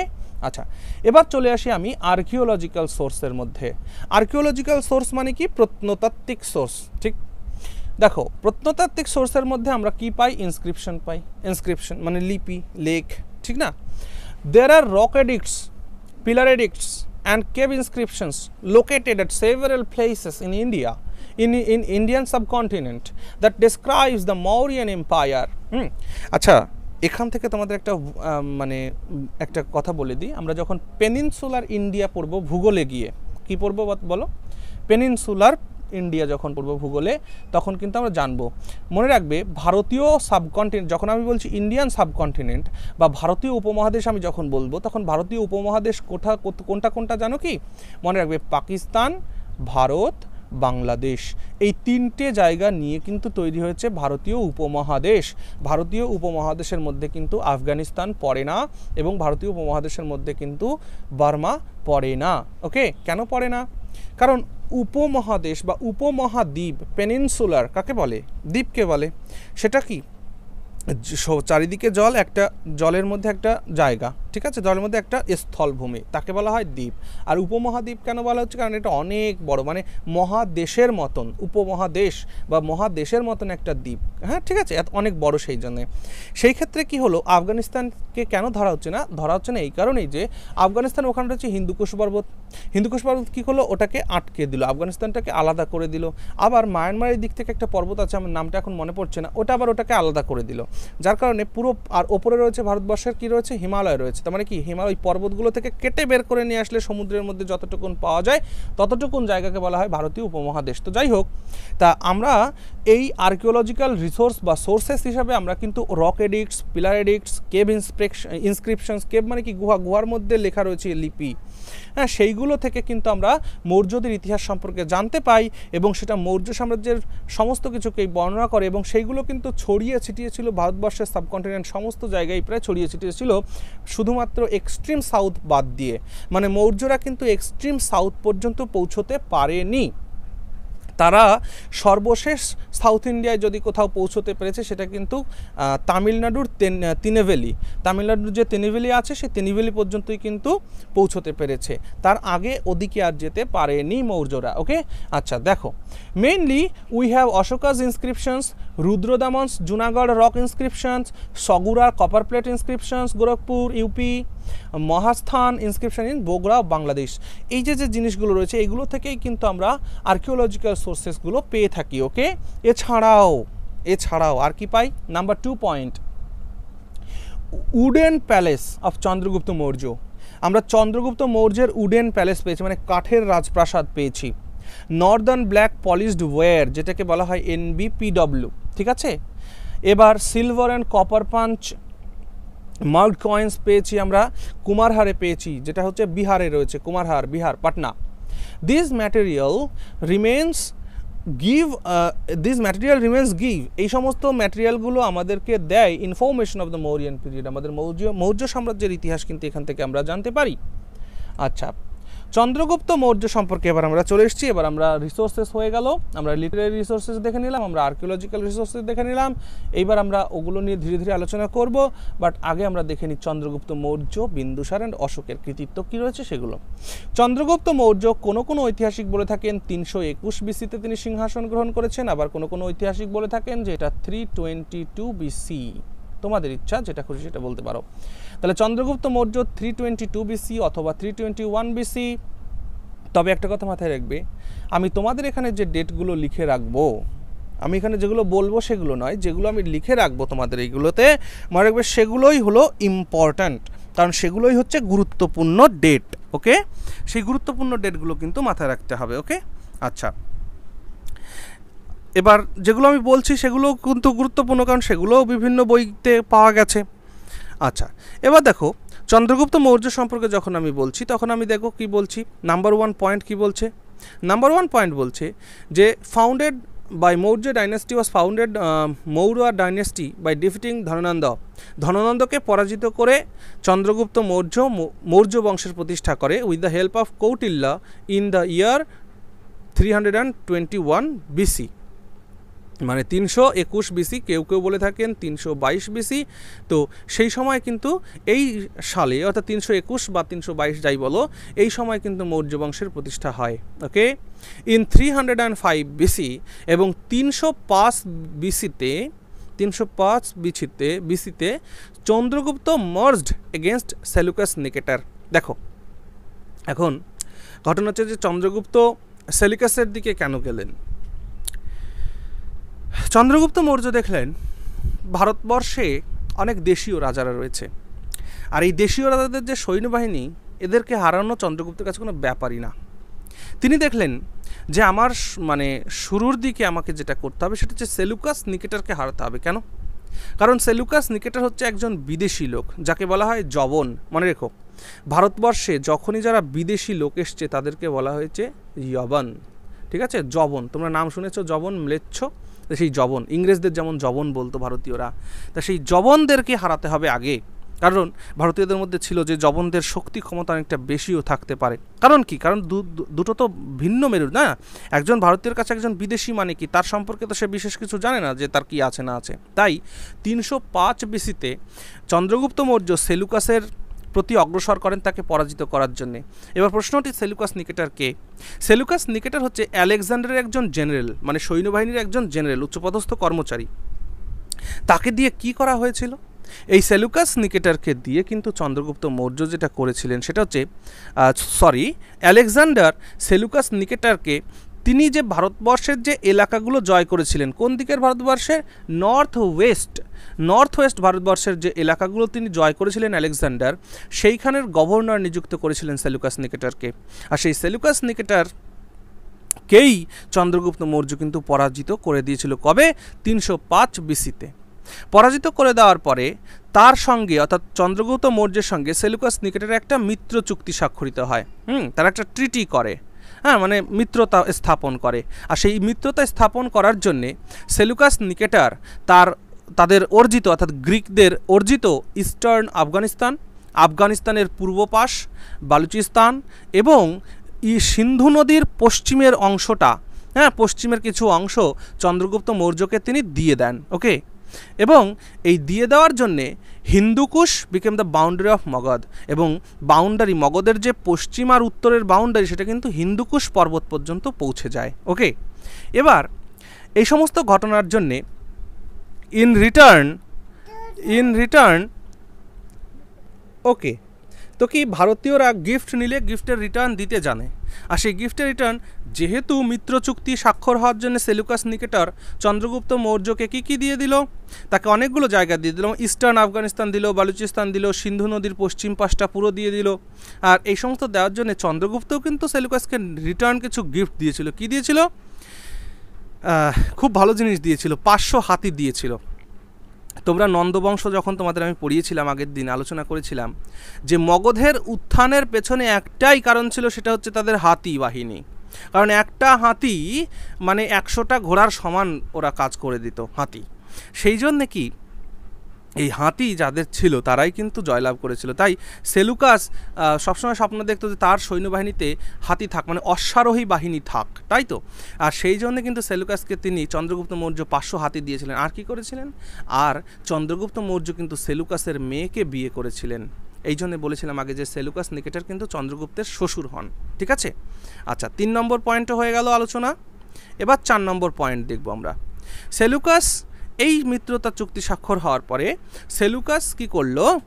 গ্রিক থেকে একজন অ্যাম্বাসেডারকে ডাকলেন, যার নাম মেগাস্তেনিস আর সেই মেগাস্তেনিসকে চন্দ্রগুপ্তের রাজসভায় পাঠিয়ে দিলেন। দূত হিসাবে। দূত, গ্রিক দূত ওকে আচ্ছা পাঁচ নম্বর পয়েন্ট কি? দ্য গিরনার রেকর্ডস গিরনার থেকে যে আমরা তথ্য পেয়েছি, সেটা বলে যে চন্দ্রগুপ্তর ব্রাদার ইন ল পুষ্যগুপ্ত, খুব খুব ইম্পর্ট্যান্ট এটা, যদিও আমি এটা পরে আলোচনা করব। পুষ্যগুপ্ত। তাহলে চন্দ্রগুপ্তের ব্রাদার ইন ল মানে শালা। চন্দ্রগুপ্তের শ্যালকের নাম হচ্ছে পুষ্যগুপ্ত। এই পুষ্যগুপ্ত কিন্তু মনে রাখবে, এনাকে বলা হয় যে ইনি builder of Sudarshan lake. Sudarshan lake তৈরি করেছিলেন তিনি, সুদর্শন লেক, ঠিক আছে? আর কি? হিজ টাইটেল ওয়াজ সীমান্ত রাজা। তাহলে সীমান্ত রাজা মোর প্রশ্ন করবে, মৌর্য যুগে সীমান্ত রাজা নামে কে পরিচিত ছিলেন? মৌর্য যুগে সীমান্ত রাজা হিসাবে কিন্তু পুষ্যগুপ্ত পরিচিত ছিলেন। পুষ্যগুপ্ত কে ছিলেন? পুষ্যগুপ্ত ছিলেন চন্দ্রগুপ্তের ব্রাদার ইন ল মানে শ্যালক। এবার কথা হচ্ছে যে পুষ্যগুপ্ত কোথায় রাজত্ব করতেন? সুন্দর সুদর্শন লেক বলে তোমরা বুঝতেই পেরেছ, পুষ্যগুপ্ত সৌরাষ্ট্রে রাজত্ব করতেন, সৌরাষ্ট্রে। অর্থাৎ যেটা বর্তমান গুজরাট, সেই গুজরাটের গভর্নর হিসাবে চন্দ্রগুপ্ত মৌর্য কিন্তু পুষ্যগুপ্তকে অ্যাপয়েন্ট করেছিল। যে তুমি ওখানে গিয়ে রাজত্ব করো ওকে আচ্ছা নেক্সট দেখো। নেক্সট কত নম্বর পয়েন্ট ছয় নম্বর point under Chandragupta the whole north India was united under a single empire of Maurya চন্দ্রগুপ্তের আমলে সম্পূর্ণ উত্তর ভারত, কল্পনা করো সম্পূর্ণ উত্তর ভারত মৌর্যদের এক সিঙ্গেল একটা এম্পায়ারের আন্ডারে এসছিল। উইথ দিস হি কঙ্কার্ড কর্ণাটকার চিতল দুর্গ এবং এর সাথে সাথে চন্দ্রগুপ্ত মৌর্য এবার উত্তর ভারত জয় করার পরে তিনি দেখলেন যে আমাকে এবার একটু দক্ষিণের দিকে অগ্রসর হতে হবে। আর সেই দক্ষিণের দিকে অগ্রসর হওয়ার জন্য তিনি কিন্তু কর্ণাটকের চিতল দুর্গ জয় করলেন। আর এই যে বললাম, তামিলনাড়ুর এই যে তামিলনাড়ুর তিনেভ্যালি এইটাকে তিনি জয় করলেন, ঠিক আছে? তো তামিলনাড়ুর তিনেভ্যালি পর্যন্তই কিন্তু মৌর্যদের লাস্ট সাউথের পয়েন্ট এটাও মনে রেখো okay Chandragupta went to south India with Bhadrabahu hmm? এবার চন্দ্রগুপ্তের জীবনের শেষের পর্যায়ে আমরা পৌঁছে গেছি। চন্দ্রগুপ্ত জীবনের শেষের পর্যায়ে কি হয়? তিনি জৈন ধর্মে দীক্ষিত হন। কার থেকে দীক্ষা নেন? ভদ্রবাহুর থেকে দীক্ষা নেন।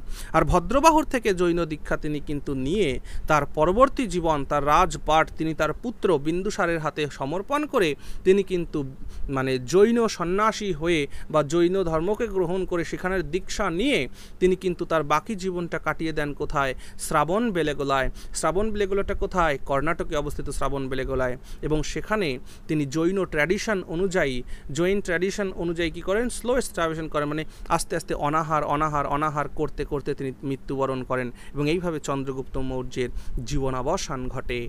ওকে আচ্ছা।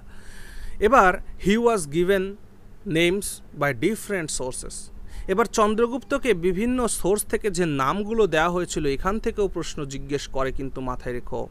আমরা দেখেছিলাম যে গ্রিক রাইটার্স স্ট্র্যাবোর কথা এরিয়ানের কথা প্লুটার্কের কথা পড়েছিলাম কি না? তো স্ট্র্যাবো চন্দ্রগুপ্তকে বলতেন পলিব্রাথস। পলিব্রাথস কে নাম দিয়েছিলেন?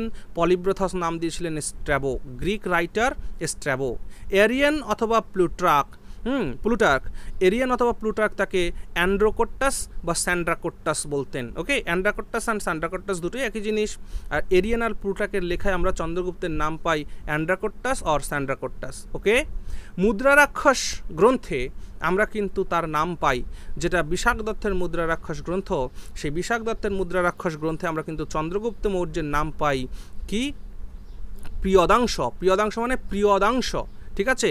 বা বিশল বা কুলহীন, ঠিক আছে? কুলহীন কেন বলা হলো? সে হচ্ছে সুদ্রাডা কমিউনিটিতে বিলং করতো সেই জন্য বলা হচ্ছে কুলহীন, যার বংশ নেই, কুলহীন, বিশল বা পিয় দংশ তাহলে দেখো, মুদ্রা রাক্ষস থেকে যে নামগুলো পাওয়া গেল, খুব ইম্পর্ট্যান্ট কিন্তু মাথায় রেখো, প্রিয়দংশ পাওয়া গেছে, বিশল পাওয়া গেছে, কুলহীন পাওয়া গেছে। যদি বিসিএস কঠিন প্রশ্ন করতে চায় মেইন পরীক্ষায় জিজ্ঞেস করেই দিতে পারে which of the following is named Vrishala? Vrishala, নিম্নের কাকে বিশল নামে ডাকা হতো, সে কিন্তু চন্দ্রগুপ্ত মৌর্য। তা প্রত্যেকটা পয়েন্ট কিন্তু খুব গুরুত্বপূর্ণ। এই ভিডিওটিকে আজকে তোমরা যারা দেখছ, আবারও রিপিট করবে। কয়েকদিন বাদে বাদে দেখতে থাকবে, তোমাদের আশা করি বুঝতে অসুবিধা হবে না ওকে আচ্ছা। এবার চলে এসো বিন্দুসারের দিকে আমরা অগ্রসর হই। Bindusara two ninety eight BC থেকে two thirty two seventy three পর্যন্ত তিনি রাজত্ব করেন মগধের সিংহাসনে। After Chandragupta, his uh, son Bindusar took the charge of Mauryan kingdom. তাহলে তাহলে চন্দ্রগুপ্ত মৌর্যর পরে কে চন্দ্রগুপ্ত মৌর্যের পরে কে মগধের সিংহাসনে বসলেন বা মৌর্য সাম্রাজ্যের রাজা কে হলেন? তিনি হলেন বিন্দুসার আচ্ছা বিন্দুসারের সাথে বিম্বিসারকে অনেকে গুলিয়ে ফেলতে আমি দেখেছি। মনে রাখবে হর্ষঙ্ক বংশের প্রতিষ্ঠাতার নাম হচ্ছে বিম্বিসার নাকি বিন্দুসার তাহলে হর্ষঙ্ক বংশে চলে গেল বিম্বিসার আর অশোকের পিতা বা চন্দ্রগুপ্ত মৌর্যের ছেলে বিন্দুসার এটা বিন্দু, ডট, ওকে? আচ্ছা দেখো, তারপরে দুই নম্বর পয়েন্ট। কি বলছে? Greeks called him Amitrochates গ্রিকরা বিন্দুসারকে অমিত্র চেটস বলতো এবং পতঞ্জলির মহাভাষ্যে, পতঞ্জলি যোগসূত্র মহাভাষ্য রচনা করেছিলেন, আর এই পতঞ্জলির মহাভাষ্যে কিন্তু তাকে বলা হয়েছে অমিত্রাঘাত মানে ডেস্ট্রয়ার অফ দ্য এনিমিজ তাহলে অমিত্রাঘাত শব্দের অর্থ কি?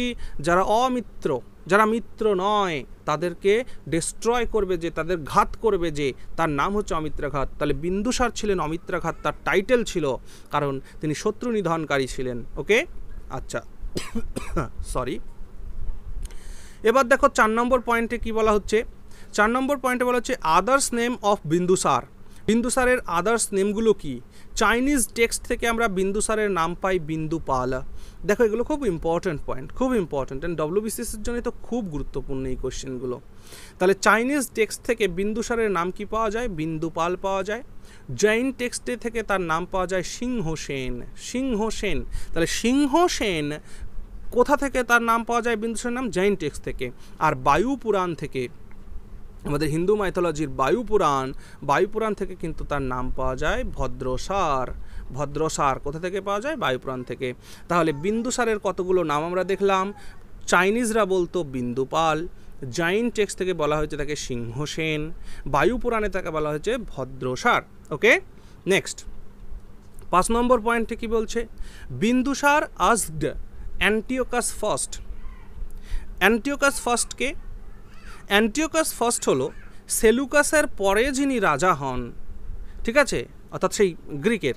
সেলুকাসের পরে যিনি রাজা হন সিরিয়ায়, তার নাম হচ্ছে অ্যান্টিওকাস দ্য ফার্স্ট মানে প্রথম অ্যান্টিওকাস। বাংলায় বললে বলব প্রথম অ্যান্টিওকাস, আর বাংলায় বললে বলব প্রথম অ্যান্টিওকাস, আর ইংরেজিতে বললে বলব অ্যান্টিওকাস দ্য ফার্স্ট। এই সিরিয়ার অ্যান্টিওকাস দ্য ফার্স্ট যখন সেলুকাসের সাকসেসর, সেলুকাসের পরে যখন সিংহাসনে বসেন, তো বিন্দুসার এই অ্যান্টিওকাস ফার্স্টকে হ্যাঁ বন্ধুতার খাতির, বন্ধুত্বের কথা বাবার সঙ্গে ওর পূর্বপুরুষের সম্পর্ক রয়েছে, এর সঙ্গে বিন্দুসার সম্পর্ক হবে, এটা স্বাভাবিক ব্যাপার। সেই সূত্রে বিন্দুসার কিন্তু অ্যান্টিওকাস দ্য ফার্স্টকে বলেন যে, তুমি আমায় কিছু মিষ্টি মদ, কিছু ড্রাইড ফিগস এবং একজন সফিস্টকে পাঠিয়ে দাও। ঠিক আছে? তাহলে কী কী পাঠিয়ে দিতে বলেছিলেন? তিনি পাঠাতে বলেছিলেন sweet wine sweet wine dried figs হ্যাঁ শুকনো ফিগস অ্যান্ড সফিস্ট সফিস্ট মানে কি জানো? যারা হলো তার্কিক মানে ফিলোসফার ঠিক আছে? যারা যারা তর্ক করতে ভালোবাসে মানে যাদের মধ্যে তর্ক করার ক্ষমতা রয়েছে, যুক্তি দিয়ে বোঝাতে পারে যারা, তাদের বলা হয় সফিস্ট তার্কিক। তিনি বলছেন যে একজন মানে ফিলোসফার বা তার্কিককে পাঠাও, কিছু মিষ্টি মদ পাঠাও, এবং কিছু ড্রাইড ফিগস পাঠাও আমাকে। তখন অ্যান্টিওকাস তাকে সমস্ত কিছু পাঠিয়েছিল। কিন্তু খুব ভদ্রভাবে বলেছিল একটা কথা, খুব গুরুত্বপূর্ণ একটা কথা বলেছিল। বলেছিল যে, Greek philosophers are not for sale. তাহলে এই অ্যান্টিওকাস দ্য ফার্স্ট, তিনি বিন্দুসারকে কী রিপ্লাই দিয়েছিলেন? তিনি বলেছিলেন, দেখো বন্ধু, তোমাকে আমি সব পাঠাচ্ছি, তবে মনে রেখো, গ্রিক ফিলোসফার্সরা বিক্রির পাত্র নয়। মানে তাদের কখনো বিক্রি করা যায় না। তুমি ভালোবেসে ডিম্যান্ড করো, আমি অবশ্যই পাঠাবো। তখন বিন্দুসার তাকে ভালোবাসার একটা লেটার লেখেন। সেই লেটার পাওয়ার পরে Antiochus the first sent Deimachus as Greek ambassador to the court of Bindusara. তাহলে বিন্দুসারের রাজসভায় তখন অ্যান্টিওকাস দ্য ফার্স্ট কাকে পাঠায়? ড্যামিয়াকাসকে পাঠায়। তাহলে বিন্দুসারের রাজসভায় কোন গ্রিক দূত এসেছিলেন? বিন্দুসারের রাজসভায় ড্যামিয়াকাস গ্রিক দূত হিসাবে এসেছিলেন। কে পাঠিয়েছিল? Antiochus the first. আর চন্দ্রগুপ্তের রাজসভায় গ্রিক দূত হিসাবে কে ছিলেন? মেগাস্তিনিস। কে পাঠিয়েছিল? Seleucus Nicator. Okay? Next point. Pliny said that Ptolemy, এটা পটলেমি বলবে না this is Ptolemy. Ptolemy Philadelphus Ptolemy Philadelphus of Egypt. Pliny বলছেন যে পলেমি ফিলাডেলফাস নামে একজন রাজা ছিলেন। কোথাকার রাজা? ইজিপ্টের রাজা। ইজিপ্টের রাজা পলেমি ফিলাডেলফাস, তিনি বিন্দুসারের রাজসভায় এই যে ডায়নিসিয়াসকে ডায়নিসিয়াসকে পাঠিয়েছিলেন। হ্যাঁ? ডায়নিসিয়াসকে পাঠিয়েছিলেন। কার রাজসভায়? বিন্দুসারের রাজসভায়। As is ambassador to the court of Bindusara. Okay আচ্ছা। এবার একটা কথা। আমরা দেখলাম যে মৌর্য যুগে যে তিনজন বিখ্যাত রাজা আর সেই তিনজন বিখ্যাত রাজাই কিন্তু তিনটে ধর্মের পৃষ্ঠপোষক। যেমন চন্দ্রগুপ্ত মৌর্য প্রতিষ্ঠাতা এবং প্রধান রাজা, সে বউ, কিসের পৃষ্ঠপোষক হলো? সে জৈন ধর্মের পৃষ্ঠপোষক হলো। আবার তার ছেলে জৈন তার ছেলে বিন্দুসার, সে কোন ধর্মের পৃষ্ঠপোষক হলো? দেখো, আট নম্বর পয়েন্ট খুব ইম্পর্ট্যান্ট বিন্দুসার আজীবক ধর্মের পৃষ্ঠপোষক ছিলেন, আজীবক, ঠিক আছে? আজীবক ধর্মকে প্রতিষ্ঠা করেছিল? মাখালিপুত্র গোসল, বা গোসলা ওকে আচ্ছা তাহলে বিন্দুসার কোন ধর্মের লোক ছিল? বিন্দুসার আজীবক সেক্টের লোক ছিল। ওকে? আচ্ছা। এরপর নয় number point, Buddhist monk Taraknath বা তারানাথ। মনে রেখো, তারকনাথেরই আর নাম, তারানাথ, গুলিয়ে ফেলার কিছু নেই। তাহলে বুদ্ধিস্ট মঙ্ক, তারকনাথ বা Taranath described that Bindusara conquered sixteen states between Arabian sea and bay of Bengal মানে বঙ্গোপসাগর বঙ্গোপ উপসাগর থেকে আরব সাগর হ্যাঁ ভারতবর্ষের পশ্চিম দিকে আরব সাগর এবং পূর্ব দিকের বঙ্গোপসাগর, এর মাঝখানে যে ষোলোটা রাজ্য ছিল, সেই ষোলোটা রাজ্যকে কিন্তু বিন্দুসার জয় করে ফেলেছিল। এটা কে বলছেন? এটা বলছেন তিব্বতের বৌদ্ধিস্ট মঙ্ক তারানাথ বা তারকনাথ বলছেন। ওকে? আচ্ছা। লাস্ট পয়েন্ট কি বিন্দুসারের? Bindusara appoint appointed his eldest son Suman বা Susima as viceroy Taxila and Ashoka at Ujjain দেখো, বিন্দুসার বলা হয় বিন্দুসারের একশো পুত্র ছিল। বিন্দুসারের একশোটা সন্তান ছিল এবং তার অনেকগুলো রানী ছিল, ওকে? তা সেই অনেক রানীর মধ্যে এমনটা বলা হয় কোনো কোনো গ্রন্থে যে অশোক ছিল তার হলো এমন একজন রানী যে রানীকে তিনি বেশি একটা ভালোবাসতেন না, তেমন একটা রানীর থেকে অশোকের জন্ম হয়েছে। এবং সেই সূত্রে বিন্দুসার অশোককে ততটা ভালোবাসতেন না। কিন্তু অশোকের পরিক্রম, শক্তি, সাহস, তার যুদ্ধ করার ক্ষমতা মানে ক্ষত্রিয়ত্ব দেখে বিন্দুসার কিন্তু অশোকের প্রতি একটু বিমোহিত হয়েছিল। যার কারণে বিন্দুসার তার বড় ছেলে সুমন বা সুসীমা তাকে তক্ষশিলার ভাইসরয় নিয়োগ করেছিল এবং অশোককে উজ্জয়িনের ভাইসরয় নিযোগ করেছিল নিযুক্ত নিযুক্ত করেছিল। ওকে? আমরা পরবর্তী সময় গিয়ে দেখব যে এই সুসীমা তক্ষশিলার ভাইসরয় হয়ে সে কিন্তু একটা অপদার্থ রাজা ছিল। এবং তার সময়ে তক্ষশিলাতে ল অ্যান্ড অর্ডার ধুলির সাথে মিশে যায় মানে ধুলোর সঙ্গে মিশে যায় মানে সে রাজা হিসাবে কোনো দায়িত্বই পালন করতে পারে না। তখন বিন্দুসার এটা বুঝে কিন্তু দেখেন অশোককে বলেন যে, অশোক, তুমি যাও, তুমি গিয়ে তক্ষশিলাতে ল অ্যান্ড অর্ডার মেনটেন করো। তখন অশোক আবার তক্ষশিলায় গিয়ে সেখানে আইন কানুন ব্যবস্থাকে সঠিক করে দিয়ে আসেন, ওকে? আর সেইখান থেকেই পরিষ্কার হয়ে যায় যে, বিন্দুসারের শতপুত্রের মধ্যে কে সিংহাসন আরোহণ করবে? তখন তার রাজ্যের যে জনগণ, তারা বুঝেই ফেলে অশোককে রাজা হিসাবে কিন্তু তারা মেনে নেয়। কারণ অশোকের মধ্যে যে রাজত্ব করার ক্ষমতা ছিল সেটা অন্য কারোর মধ্যে ছিল না। ওকে? আচ্ছা এবার চলে এসো। দেখো, অশোকা রাজত্ব করেছিল, অশোকা রাজত্ব করেছিল দুইশো তিয়াত্তর বিসি থেকে, অশোকা রাজত্ব করেছিল দুইশো তিয়াত্তর বিসি থেকে দুশো বত্রিশ বিসি পর্যন্ত। Ashoka he succeeded his father Bindusara but he had to fight a battle of succession তাহলে অশোককে ব্যাটেল অফ সাকসেশনে নিযুক্ত হতে তার তো একশোটা ভাই। এখন কে রাজত্বে বসবে, কে সিংহাসনে বসবে তাই নিয়ে একটা গণ্ডগোল তো চলবেই। অ্যাকর্ডিং টু দিব্যবদান, বইগুলোর নাম মনে রাখবে এখানে এক নম্বর point according to Divyavadana Divyavadana বই অনুসারে Ashoka was sent to Taxila to restore the rules and regulations একটু আগে গল্পটা বললাম। Buddhist text describes that Ashoka killed his ninety nine brothers to usurp the throne এবং অশোকা তার নিরানব্বই ভাইকে মেরে ফেলেছিলেন। সিংহাসনে বসার জন্যে। He spared his younger brother Tissa কিন্তু মনে রেখো, অশোক তার সর্ব সর্বকনিষ্ঠ ভাই তিস্যকে খুব ভালোবাসতো। আর সেই জন্যে তিস্যকে তিনি কিন্তু মারেননি ওকে এই তিস্যকে কিন্তু তিনি খুব ভালোবাসতেন ওকে আচ্ছা minister of Bindusara Radhagupta hmm helped him to this fratricide struggle fratricide একটা কথা। ফ্র্যাট্রিসাইড মানে ভাতৃহত্যা। ফ্র্যাট্রি সাইড মানে হচ্ছে ভাতৃহত্যা মানে ভাই হত্যা করা। ভাই হত্যাকে বলা হয় ফ্র্যাট্রিসাইড, ঠিক আছে? তাহলে ফ্র্যাট্রিসাইড হচ্ছে ভাই হত্যা। তাহলে এই অশোক যে এই ভাইয়ের হত্যার যে স্ট্রাগল করেছিল, এর জন্য কিন্তু সাহায্য কে করেছিল? বিন্দুসারের একজন মন্ত্রী ছিল, যার নাম রাধাগুপ্ত। সে অশোককে সাহায্য করেছিল ওকে অশোক আজ লাইফ অ্যাট থ্রি ফেজেস আমরা যখন অশোকের জীবন দেখব, অশোকের জীবনকে আমরা তিনটে ফ্যাক্টরে ভাগ করে নেব। কি? এক হচ্ছে কামাশোক দুই চণ্ডাশোক, তিন ধম্মাশোক। তাহলে অশোকের জীবনটাকে আমরা যত যখন প্রথম স্টেজ দেখছি, যখন সে হলো কামাশোক অশোক। কামাশোক মানে কি? কাম কামনার ডিজায়ার পাওয়ার আছে মানে রাজা হতে হবে, রাজা হতে হবে। একে কামনা রয়েছে, কাম রয়েছে, ঠিক না? আবার কেউ কেউ বলে থাকেন যে সেক্সুয়াল ডিজায়ারমেন্টও তার ছিল। তো সেই কামাশোক, তাহলে প্রথমে অশোকের মধ্যে কাম, চেতনা, বাসনাগুলো আসলো রাজা হওয়ার। আর সেই রাজা হওয়ার কাম বাসনার জন্যেই কিন্তু সে চণ্ডাশোকে পরিণত হলো। কেন চণ্ডাশোকে পরিণত হলো? কারণ সে তার নিজের নিরানব্বইটা ভাইকে হত্যা করল এবং তৎসহ সে কলিঙ্গ বিজয় করতে গিয়ে, কলিঙ্গ বিজয় করতে গিয়ে লক্ষ লক্ষ মানুষকে কিন্তু হত্যা করেছিল। তাই প্রথমটা কামাশোক, দ্বিতীয় স্টেজ চণ্ডাশোক এবং তৃতীয় স্টেজ ধম্মাশোক এবং কলিঙ্গ বিজয়ের পরে তিনি প্রচুর পরিমাণের মৃত্যু মানুষের মৃত্যুতে তিনি দুঃখিত হলেন, ব্যথিত হলেন এবং বৌদ্ধ ধর্মের সংস্পর্শে আসলেন। বৌদ্ধ ধর্মের সংস্পর্শে এসে তিনি অশোক নিজেই ধর্মবাণী প্রচার করতে শুরু করলেন, অহিংসার নীতি গ্রহণ করলেন এবং তখন থেকে তিনি হয়ে গেলেন ধম্মাশোকা। তাহলে অশোকের জীবনের তিনটি ফেজ কামাশোকা, চণ্ডাশোকা, ধম্মাশোকা, আশা করি বুঝতে পেরেছ ওকে তিন নম্বর পয়েন্ট কি বলছে অশোক সম্পর্কে?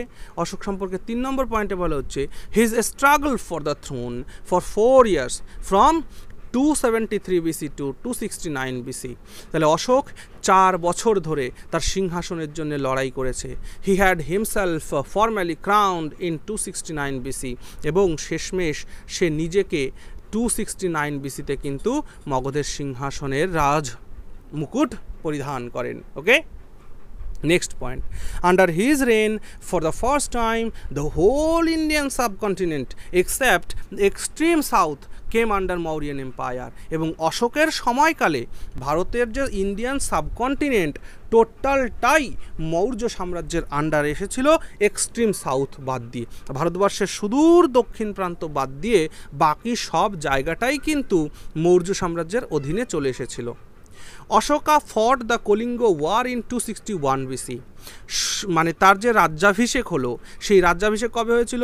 অশোকের রাজ্যাভিষেক হয়েছিল, মনে রাখবে ইনকারনেশন অফ অশোকা অশোকার ইনকারনেশন হয়েছিল টু সিক্সটি নাইন বিসিতে আর অশোকের সেই ইনকারনেশনের ঠিক আট বছর পরে টু সিক্সটি ওয়ান বিসিতে অশোকা কলিঙ্গ যুদ্ধ লড়াই করেছিল। Lakhs of people were killed in this war এই যুদ্ধে লক্ষ লক্ষ মানুষ মরেছিল। দিস ওয়ার চেঞ্জড হিম এই যুদ্ধ তাকে পরিবর্তন করে দিল। He abandoned his policy of Bheri Ghosha to Dhamma Ghosha in imperialism policy এবং এই কলিঙ্গ বিজয়ের পরের থেকে অশোকের মধ্যে বিরাট পরিবর্তন চলে আসলো। তাই তিনি ভেরিঘোষ পলিসি বাদ দিয়ে ধম্মঘোষ বা ধর্মঘোষ পলিসিকে অ্যাপ্লাই করলেন কিসের জন্যে? ইন ইম্পেরিয়ালিজম পলিসি দেখো, মগধ সাম্রাজ্যটা টোটালটাই ইম্পেরিয়ালিজম পলিসিতে বেসড যদি মগধার মধ্যে, মগধ কিংডমের মধ্যে বা মগধের মধ্যে যদি, মগধে যারা যারাই শাসন করেছে, সেই মগধের মধ্যে যদি ইম্পেরিয়ালিজম পলিসি না আসতো, তাহলে মগধে একটা প্রশ্ন করে যে মগধে ইম্পেরিয়ালিজম পলিসি কে ফার্স্ট স্টার্ট করে? মনে রাখবে, মগধে ইম্পেরিয়ালিজম পলিসি ফার্স্ট স্টার্ট করেছিল হর্ষঙ্ক বংশের প্রতিষ্ঠাতা রাজা বিম্বিসার ওকে ইম্পেরিয়ালিজম পলিসি মানে কি? মানে এই যে, কি বলে, ওই সাম্রাজ্যবাদ হ্যাঁ সাম্রাজ্যবাদ, যেটা এখন চায়না করতে চাইছে। হুম, চায়না এখন যেটা করতেছে সাম্রাজ্যবাদ, সবাইকে দখলের মধ্যে আনতে চাইছে। ভারতের এই জায়গা তার বলছে হ্যাঁ মানে তোমার ওই কি বলে, ভিয়েতনামের একটা জায়গা সে তার বলছে, আবার তাইওয়ানের একটা জায়গা সে তার বলছে, এগুলো একটা অন্য কোনো একদিন ক্লাস করে পুরোটা বুঝিয়ে দেবো চায়নার বর্তমান পরিস্থিতি কি, যদি তোমরা চাও। আচ্ছা তোমরা তোমরা যদি এখন বিশ্বের বর্তমান পরিস্থিতি কি যদি বুঝতে চাও, অবশ্যই কমেন্ট সেকশনে আমাকে জানিও, আমি তোমাদের একটা ডিটেলস ক্লাস করে দেবো যে বর্তমান বিশ্বের পরিস্থিতি কি ওকে আচ্ছা শুনতে থাকো। তাহলে ভেরি ঘোষ অ্যান্ড ধম্ম ঘোষ ওকে তাহলে যেটা আলোচনা করছিলাম আর কি কি? যে না, ভেরি ঘোষ অ্যান্ড ধম্ম ঘোষ। ভেরি ঘোষ কি জানো? ভেরি ঘোষ মানে হচ্ছে সাউন্ড অফ ওয়ার। যুদ্ধের সময় যে দামামা বাজানো হয় বা যুদ্ধের সময় যে শঙ্খ বাজানো হয়, সেটাকে বলা হয় ভেরিঘোষ। আর ধম্মঘোষ মানে হচ্ছে সাউন্ড অফ পিস। মানে শান্তির শব্দ বা শান্তির ধ্বনি। তাহলে তিনি কি করলেন? এই যুদ্ধের ঘোষণার, যুদ্ধের ঘোষটাকে ধর্মঘোষে পরিণত করলেন। অর্থাৎ কি? তিনি যুদ্ধের নীতি বাদ দিয়ে ধর্মের নীতি অ্যাপ্লাই করলেন। আচ্ছা যুদ্ধের নীতি বাদ দিয়ে ধর্মের নীতি অ্যাপ্লাই করার মধ্য দিয়ে কি ঘটনা ঘটলো? যুদ্ধের নীতি বাদ দিয়ে ধর্মের নীতি অ্যাপ্লাই করলে তিনি বললেন যে, এখন থেকে আমি আর যুদ্ধ লড়াই করে রাজ্য দখল করব না। তাহলে কি হবে? তাহলে ধর্মঘোষ মানে হচ্ছে to acquire a land by love and peace কোনো ল্যান্ডকে যদি ভালোবাসা এবং শান্তি দিয়ে জয় করতে পারো, সেই জনগণ, সেই রাজ্যের জনগণের মন জয় করে যদি সেই রাজ্য জয় করতে পারো, তবে করো নচেত না তাহলে বোঝা গেল, অশোকের এই ধর্মঘোষ কিন্তু তাকে সাহায্য করেছিল বিভিন্ন স্টেটকে তাই মগধ সাম্রাজ্যের মধ্যে ইনক্লুড করতে। বোঝা গেল? আচ্ছা। ভোব্রু ইনস্ক্রিপশন এটা বলে যে এই কলিঙ্গ যুদ্ধের দু বছর পরে Ashok became an ardent follower of Buddhism তাহলে অশোক যে বুদ্ধ ধর্মের একজন আর্ডেন্ট ফলোয়ার হয়ে পড়েন, এ কথা কোথার থেকে জানা যায়? ভোব্রু ইনস্ক্রিপশন থেকে জানা যায় তো ভোব্রু লেপ, লেক থেকে জানা যায় ওকে আচ্ছা অশোকাজ ফুল নেম ওয়াজ দেবনাম প্রিয় অশোকা প্রিয়দর্শী রাজা। মনে থাকবে? অশোকের ফুল নাম কি ছিল? অশোকের সম্পূর্ণ নাম ছিল দেবনাম প্রিয় অশোকা প্রিয়দর্শী রাজা। ওকে আচ্ছা Ashoka was initiated into Buddhism into Buddhism fold okay এখানে ফোল্ড লেখা রয়েছে, এখানে ডিটা আসেনি, এটা ফোল্ড বুদ্ধিজম ফোল্ডের মধ্যে অশোক এসেছিল কার দ্বারা জানো? একটা সাত বছরের সন্ন্যাসী বৌদ্ধিস্ট মঙ্ক যার নাম ছিল নিগ্রোধা। ঠিক আছে? এই নিগ্রোধা নামের সাত বছরের একজন বাচ্চা সন্ন্যাসীকে দেখে কিন্তু অশোকা ইন্সপায়ার হয়েছিল বৌদ্ধ ধর্মের প্রতি। অ্যান্ড বৌদ্ধ ধর্মের প্রতি ইন্সপায়ার্ড হওয়ার জন্যে তিনি বৌদ্ধ ধর্ম গ্রহণ করেন। তাহলে বৌদ্ধ ধর্ম গ্রহণ করেছিলেন কার জন্যে? সাত বছরের সন্ন্যাসী নিগ্রোধ এর জন্যে। এবং বৌদ্ধ ধর্ম গ্রহণ করার পরে তার যে স্পিরিচুয়াল মাস্টার ছিল মানে আধ্যাত্মিক গুরু যদি বলা হয় যে সম্রাট অশোকের আধ্যাত্মিক গুরুর নাম কি? সম্রাট অশোকের আধ্যাত্মিক গুরুর নাম কিন্তু উপগুপ্ত। সম্রাট অশোকের আধ্যাত্মিক গুরুর নাম উপগুপ্ত। Ashoka sent missionaries. এবার অশোকা বৌদ্ধ ধর্ম গ্রহণ করার পরে এই বৌদ্ধ ধর্মের প্রচার প্রসার এমনটা বলা হয়, যদি অশোকা যদি ভারতবর্ষে না আসতো, তাহলে হয়তো এই বৌদ্ধ ধর্ম ভারতবর্ষের বাইরে বেরোতে পারতো না। কারণ এই ভারত বৌদ্ধ ধর্মকে ভারতবর্ষের বাইরে নিয়ে যাওয়ার জন্য কিন্তু অশোকের একটা বিরাট বড় হাত রয়েছে। Ashoka sent missionaries to the kingdoms of Chola and Pandya, ঠিক আছে? দেখো, সাউথ ইন্ডিয়ার দিকে যে রাজাগুলো ছিল, তারা কি ছিল? চোল রাজবংশ ছিল পাণ্ড্য রাজবংশ ছিল। মনে রাখো, যখন অশোক কার্গিলের সরি সরি কার্গিল বলছি কলিঙ্গের যুদ্ধ করছে। সো কলিঙ্গের যুদ্ধের সময় কিন্তু কলিঙ্গের যে অ্যালয় ছিল তা কিন্তু ছিল চোল আর পাণ্ড তাহলে কলিঙ্গের সঙ্গে চোল আর পাণ্ড অ্যালয় হয়ে অশোকের বিরুদ্ধে যুদ্ধ করছিল কলিঙ্গে। ঠিক আছে? কলিঙ্গ মানে কি? উড়িষ্যা। এবার যখন কলিঙ্গ যুদ্ধ হয়ে গেল, অশোক দেখল যে আমার এই চোল আর পাণ্ডবদের সাথে সম্পর্ক ঠিক করতে হবে। ঠিক করার জন্য তিনি কী করলেন? তিনি মিশনারি পাঠিয়ে দিলেন, বৌদ্ধিস্ট মিশনারিদের পাঠিয়ে দিলেন চোল রাজ্যে এবং পাণ্ডু রাজ্যে, যে তোমরা গিয়ে ওখানে শান্তির বাণী প্রচার করো, আমার শান্তির কথা তুমি এখানে গিয়ে বলো, বৌদ্ধ ধর্মের কথা গিয়ে বলো okay and also to give five Greek rulers এবং তাছাড়াও তিনি পাঁচজন গ্রিক রুলারকেও কিন্তু তিনি মিশনারি পাঠিয়েছিল। যেমন অ্যান্টিওকাস সেকেন্ডকে পাঠিয়েছিল, ফিলাটেল, ফিলাডেলফা, ফিলা, ফিলাডেলফাস পোলেমি সেকেন্ডকে পাঠিয়েছিল অ্যান্টিওগাসকে অ্যান্টিগোনাসকে পাঠিয়েছিল, ম্যাকগাসকে পাঠিয়েছিল, অ্যালেকজান্ডার অফ অ্যাপিরেসকে পাঠিয়েছিল। He also sent missionaries to Sri Lanka and Burma ঠিক আছে? তাহলে অশোকা, এই যে যে সারা বিশ্বে দেখেছ, অশোকা কিন্তু সারা বিশ্বে এই বৌদ্ধ ধর্মটাকে প্রোপাগেট করেছিল ওকে আচ্ছা এবার আমরা আলোচনা করি অশোকের ধর্ম নিয়ে। অশোক যে ধর্মবাণী প্রচার করেছিল, সেটা কি? বৌদ্ধ ধর্মের সাথে রিলেটেড রিলেটেড জিনিস। অশোকাস ধর্ম ওয়াজ নট সেক্টেরিয়ান ফেথ অশোকের ধর্ম কিন্তু সেইভাবে রিলিজিয়ান বলা যায় না। মানে অশোকের যে ধর্ম, সেই অশোকের ধর্মকে রিলিজিয়ান বলা যায় না। অশোকের এটা সেক্টেরিয়ান এই জন্য বলা হচ্ছে সেক্টেরিয়ান ফেথ এটি নয়। সেক্টেরিয়ান ফেথ মানে রিলিজিয়ান তাহলে অশোকের ধর্মটা অ্যাকচুয়ালি কোনো রিলিজিয়ান নয়। কিন্তু it is moral laws and common code of conduct এটা ছিল মোরাল লজ নৈতিক কিছু আইন এবং আচরণের কিছু কমন কোড ঠিক আছে? মানুষের আচরণ কেমন হওয়া উচিত? একটা মানুষের নৈতিকতা কেমন হওয়া উচিত? এই সমস্ত বিষয় নিয়েই হচ্ছে অশোকের ধর্ম। To propagate his Dhamma he appointed some officers আর এই অশোক তার এই ধম্মবাণীকে বা অশোকের এই ধম্মকে প্রচার করার জন্যে এই মগধের সাম্রাজ্যে তিনি কতগুলো অফিসারের পোস্ট ক্রিয়েট করেছিলেন। যেমন সেটা হচ্ছে যুক্তা, হুম, বা জুত এটা বলা হয়। বাংলায় তোমরা জুত পাবে, কিন্তু ইংরেজিতে যদি বলি ইউক্তা, ধর্ম মহামাত্রা যা বলেছি, টিটি যেখানে থাকবে ওটাকে তয়রফলা হিসাবে ধরে নেবে। ধর্ম মহামাত্র, তারপরে স্ত্রী মহামাত্র, লাজুক বা রাজুক, পুরুষ, তারপরে প্রতিবেদক, এই সমস্ত পোস্টগুলোকে তিনি ক্রিয়েট করেছিলেন। কেন? তার ধর্মকে প্রোপাগেট করার জন্য, জনগণের মধ্যে তার এই ধর্মের বাণী, অহিংসার বাণীকে প্রচার করে দেওয়ার জন্যে। He sent Mudra sorry sorry he sent Mahadharmarakshita to Maharashtra. তিনি মহারাষ্ট্রে মহাধর্মরক্ষিতকে পাঠিয়েছিলেন। ধর্মরক্ষিতকে কর্ণাটকে পাঠিয়েছিলেন। মহারক্ষিতকে সিরিয়া এবং ইজিপ্ট, ইজিপ্টে পাঠিয়েছিলেন তার এই ধর্মবাণী প্রচার করার জন্যে। His son Mahendra and daughter Sanghamitra to Sri Lanka for the propagation of Buddhism এবং বৌদ্ধ ধর্মের প্রপাগেশনের জন্যে তিনি মহারাষ্ট্রে কাকে পাঠিয়েছিলেন? মহাধর্মরক্ষিতকে পাঠিয়েছিলেন। কর্ণাটকে কাকে পাঠিয়েছিলেন? ধর্মরক্ষিতকে পাঠিয়েছিলেন। মহারক্ষিতকে কোথায় পাঠিয়েছিলেন? সিরিয়া এবং ইজিপ্ট মানে মিডিল ইস্টে পাঠিয়েছিলেন। হিজ সান মহেন্দ্রকে কোথায় পাঠিয়েছিলেন? ডটার সংঘমিত্রাকে কোথায় পাঠিয়েছিলেন? শ্রীলঙ্কায় পাঠিয়েছিলেন। ওকে? আচ্ছা চার নম্বর point. He organised third Buddhist council in the year two fifty BC at Pataliputra. তার মানে বুঝতে পারছ, অশোকা কতটা বৌদ্ধ ধর্মের প্রতি আকৃষ্ট হয়েছিল যে তিনি third Buddhist council two hundred and fifty বিসিতে কিন্তু পাটলিপুত্রিতে আয়োজন করে দিয়েছিল। তাহলে কয়টা বৌদ্ধিস্ট কাউন্সিল হয়েছিল? মনে আছে? চারটি। কোথায় কোথায় হয়েছিল? আমি বলেছিলাম না রাজ বেশে পুত্র কাশে রাজবেশে মানে কি? রাজগৃহ। বেশে মানে বৈশালী। পুত্র মানে পাটলিপুত্র। কাশে মানে কাশ্মীর। কাশ্মীরেরটাকে হয়ে কি বলেছিলাম? জলন্ধর। কোনো কোনো ঐতিহাসিক মনে করেন, কাশ্মীরে হয়েছিল ফোর্থ বুদ্ধিস্ট কাউন্সিল। আবার কেউ কেউ বলেন, জলন্ধরে হয়েছিল ফোর্থ বুদ্ধিস্ট কাউন্সিল, ওকে? তবে সর্বজন গ্রাহ্য কিন্তু কাশ্মীর, এটা মনে রাখবে, ওকে? আচ্ছা। তাহলে থার্ড বুদ্ধিস্ট কাউন্সিল কার সময় হয়েছিল? থার্ড বুদ্ধিস্ট কাউন্সিল হয়েছিল কিন্তু অশোকের সময়, ওকে?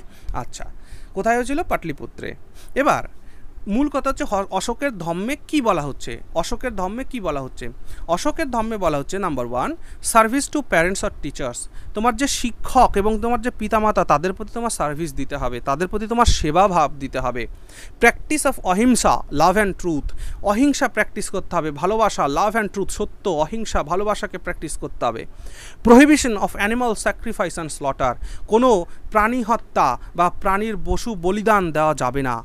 Human treatment to servants and prisoners, যারা জেলে বন্দি রয়েছে এবং তাদের প্রতি এবং বাড়িতে যে চাকর বাকর রয়েছে, তাদের প্রতি মানবিক আচরণ প্রদর্শন করতে হবে।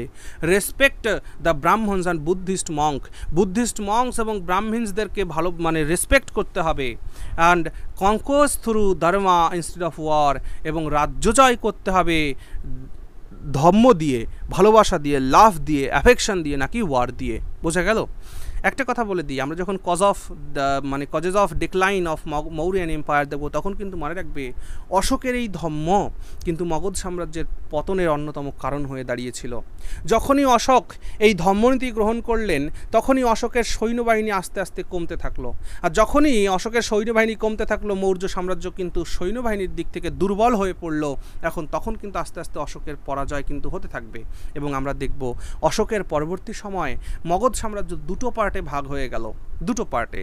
প্রথম একটা পার্ট হয়ে গেল ইস্টার্ন পার্ট, আর একটা হয়ে গেল ওয়েস্টার্ন পার্ট। ইস্টার্ন পার্টের রাজভার তিনি দিলেন তার পুত্র কুণালকে, এবং ওয়েস্টার্ন পার্টের রাজভার তিনি করতে দিলেন তার পুত্র সরি সরি আচ্ছা ধীরে ধীরে আমি পড়ছি, নামটা মাথা থেকে বেরিয়ে গেছে। দেখো, এবার আমরা আলোচনা করি অশোকাজ এডিক্টস নিয়ে। অশোকের যে লেখ বা লিপিগুলো পাওয়া গেছে, সেই লিপি বা লেখগুলোকে আমরা যদি ভাগ করি, তাহলে দেখো আমি তোমাদের একদম ছোট্ট করে লিখে রেখেছি, এই যে এইটুকুন খেয়াল করবে, এই জায়গাটুকুনকে খেয়াল করো, এই যে এইটুকুন, এখান থেকে কিন্তু গুরুত্বপূর্ণ পয়েন্টগুলো পরীক্ষা দিতে পারে।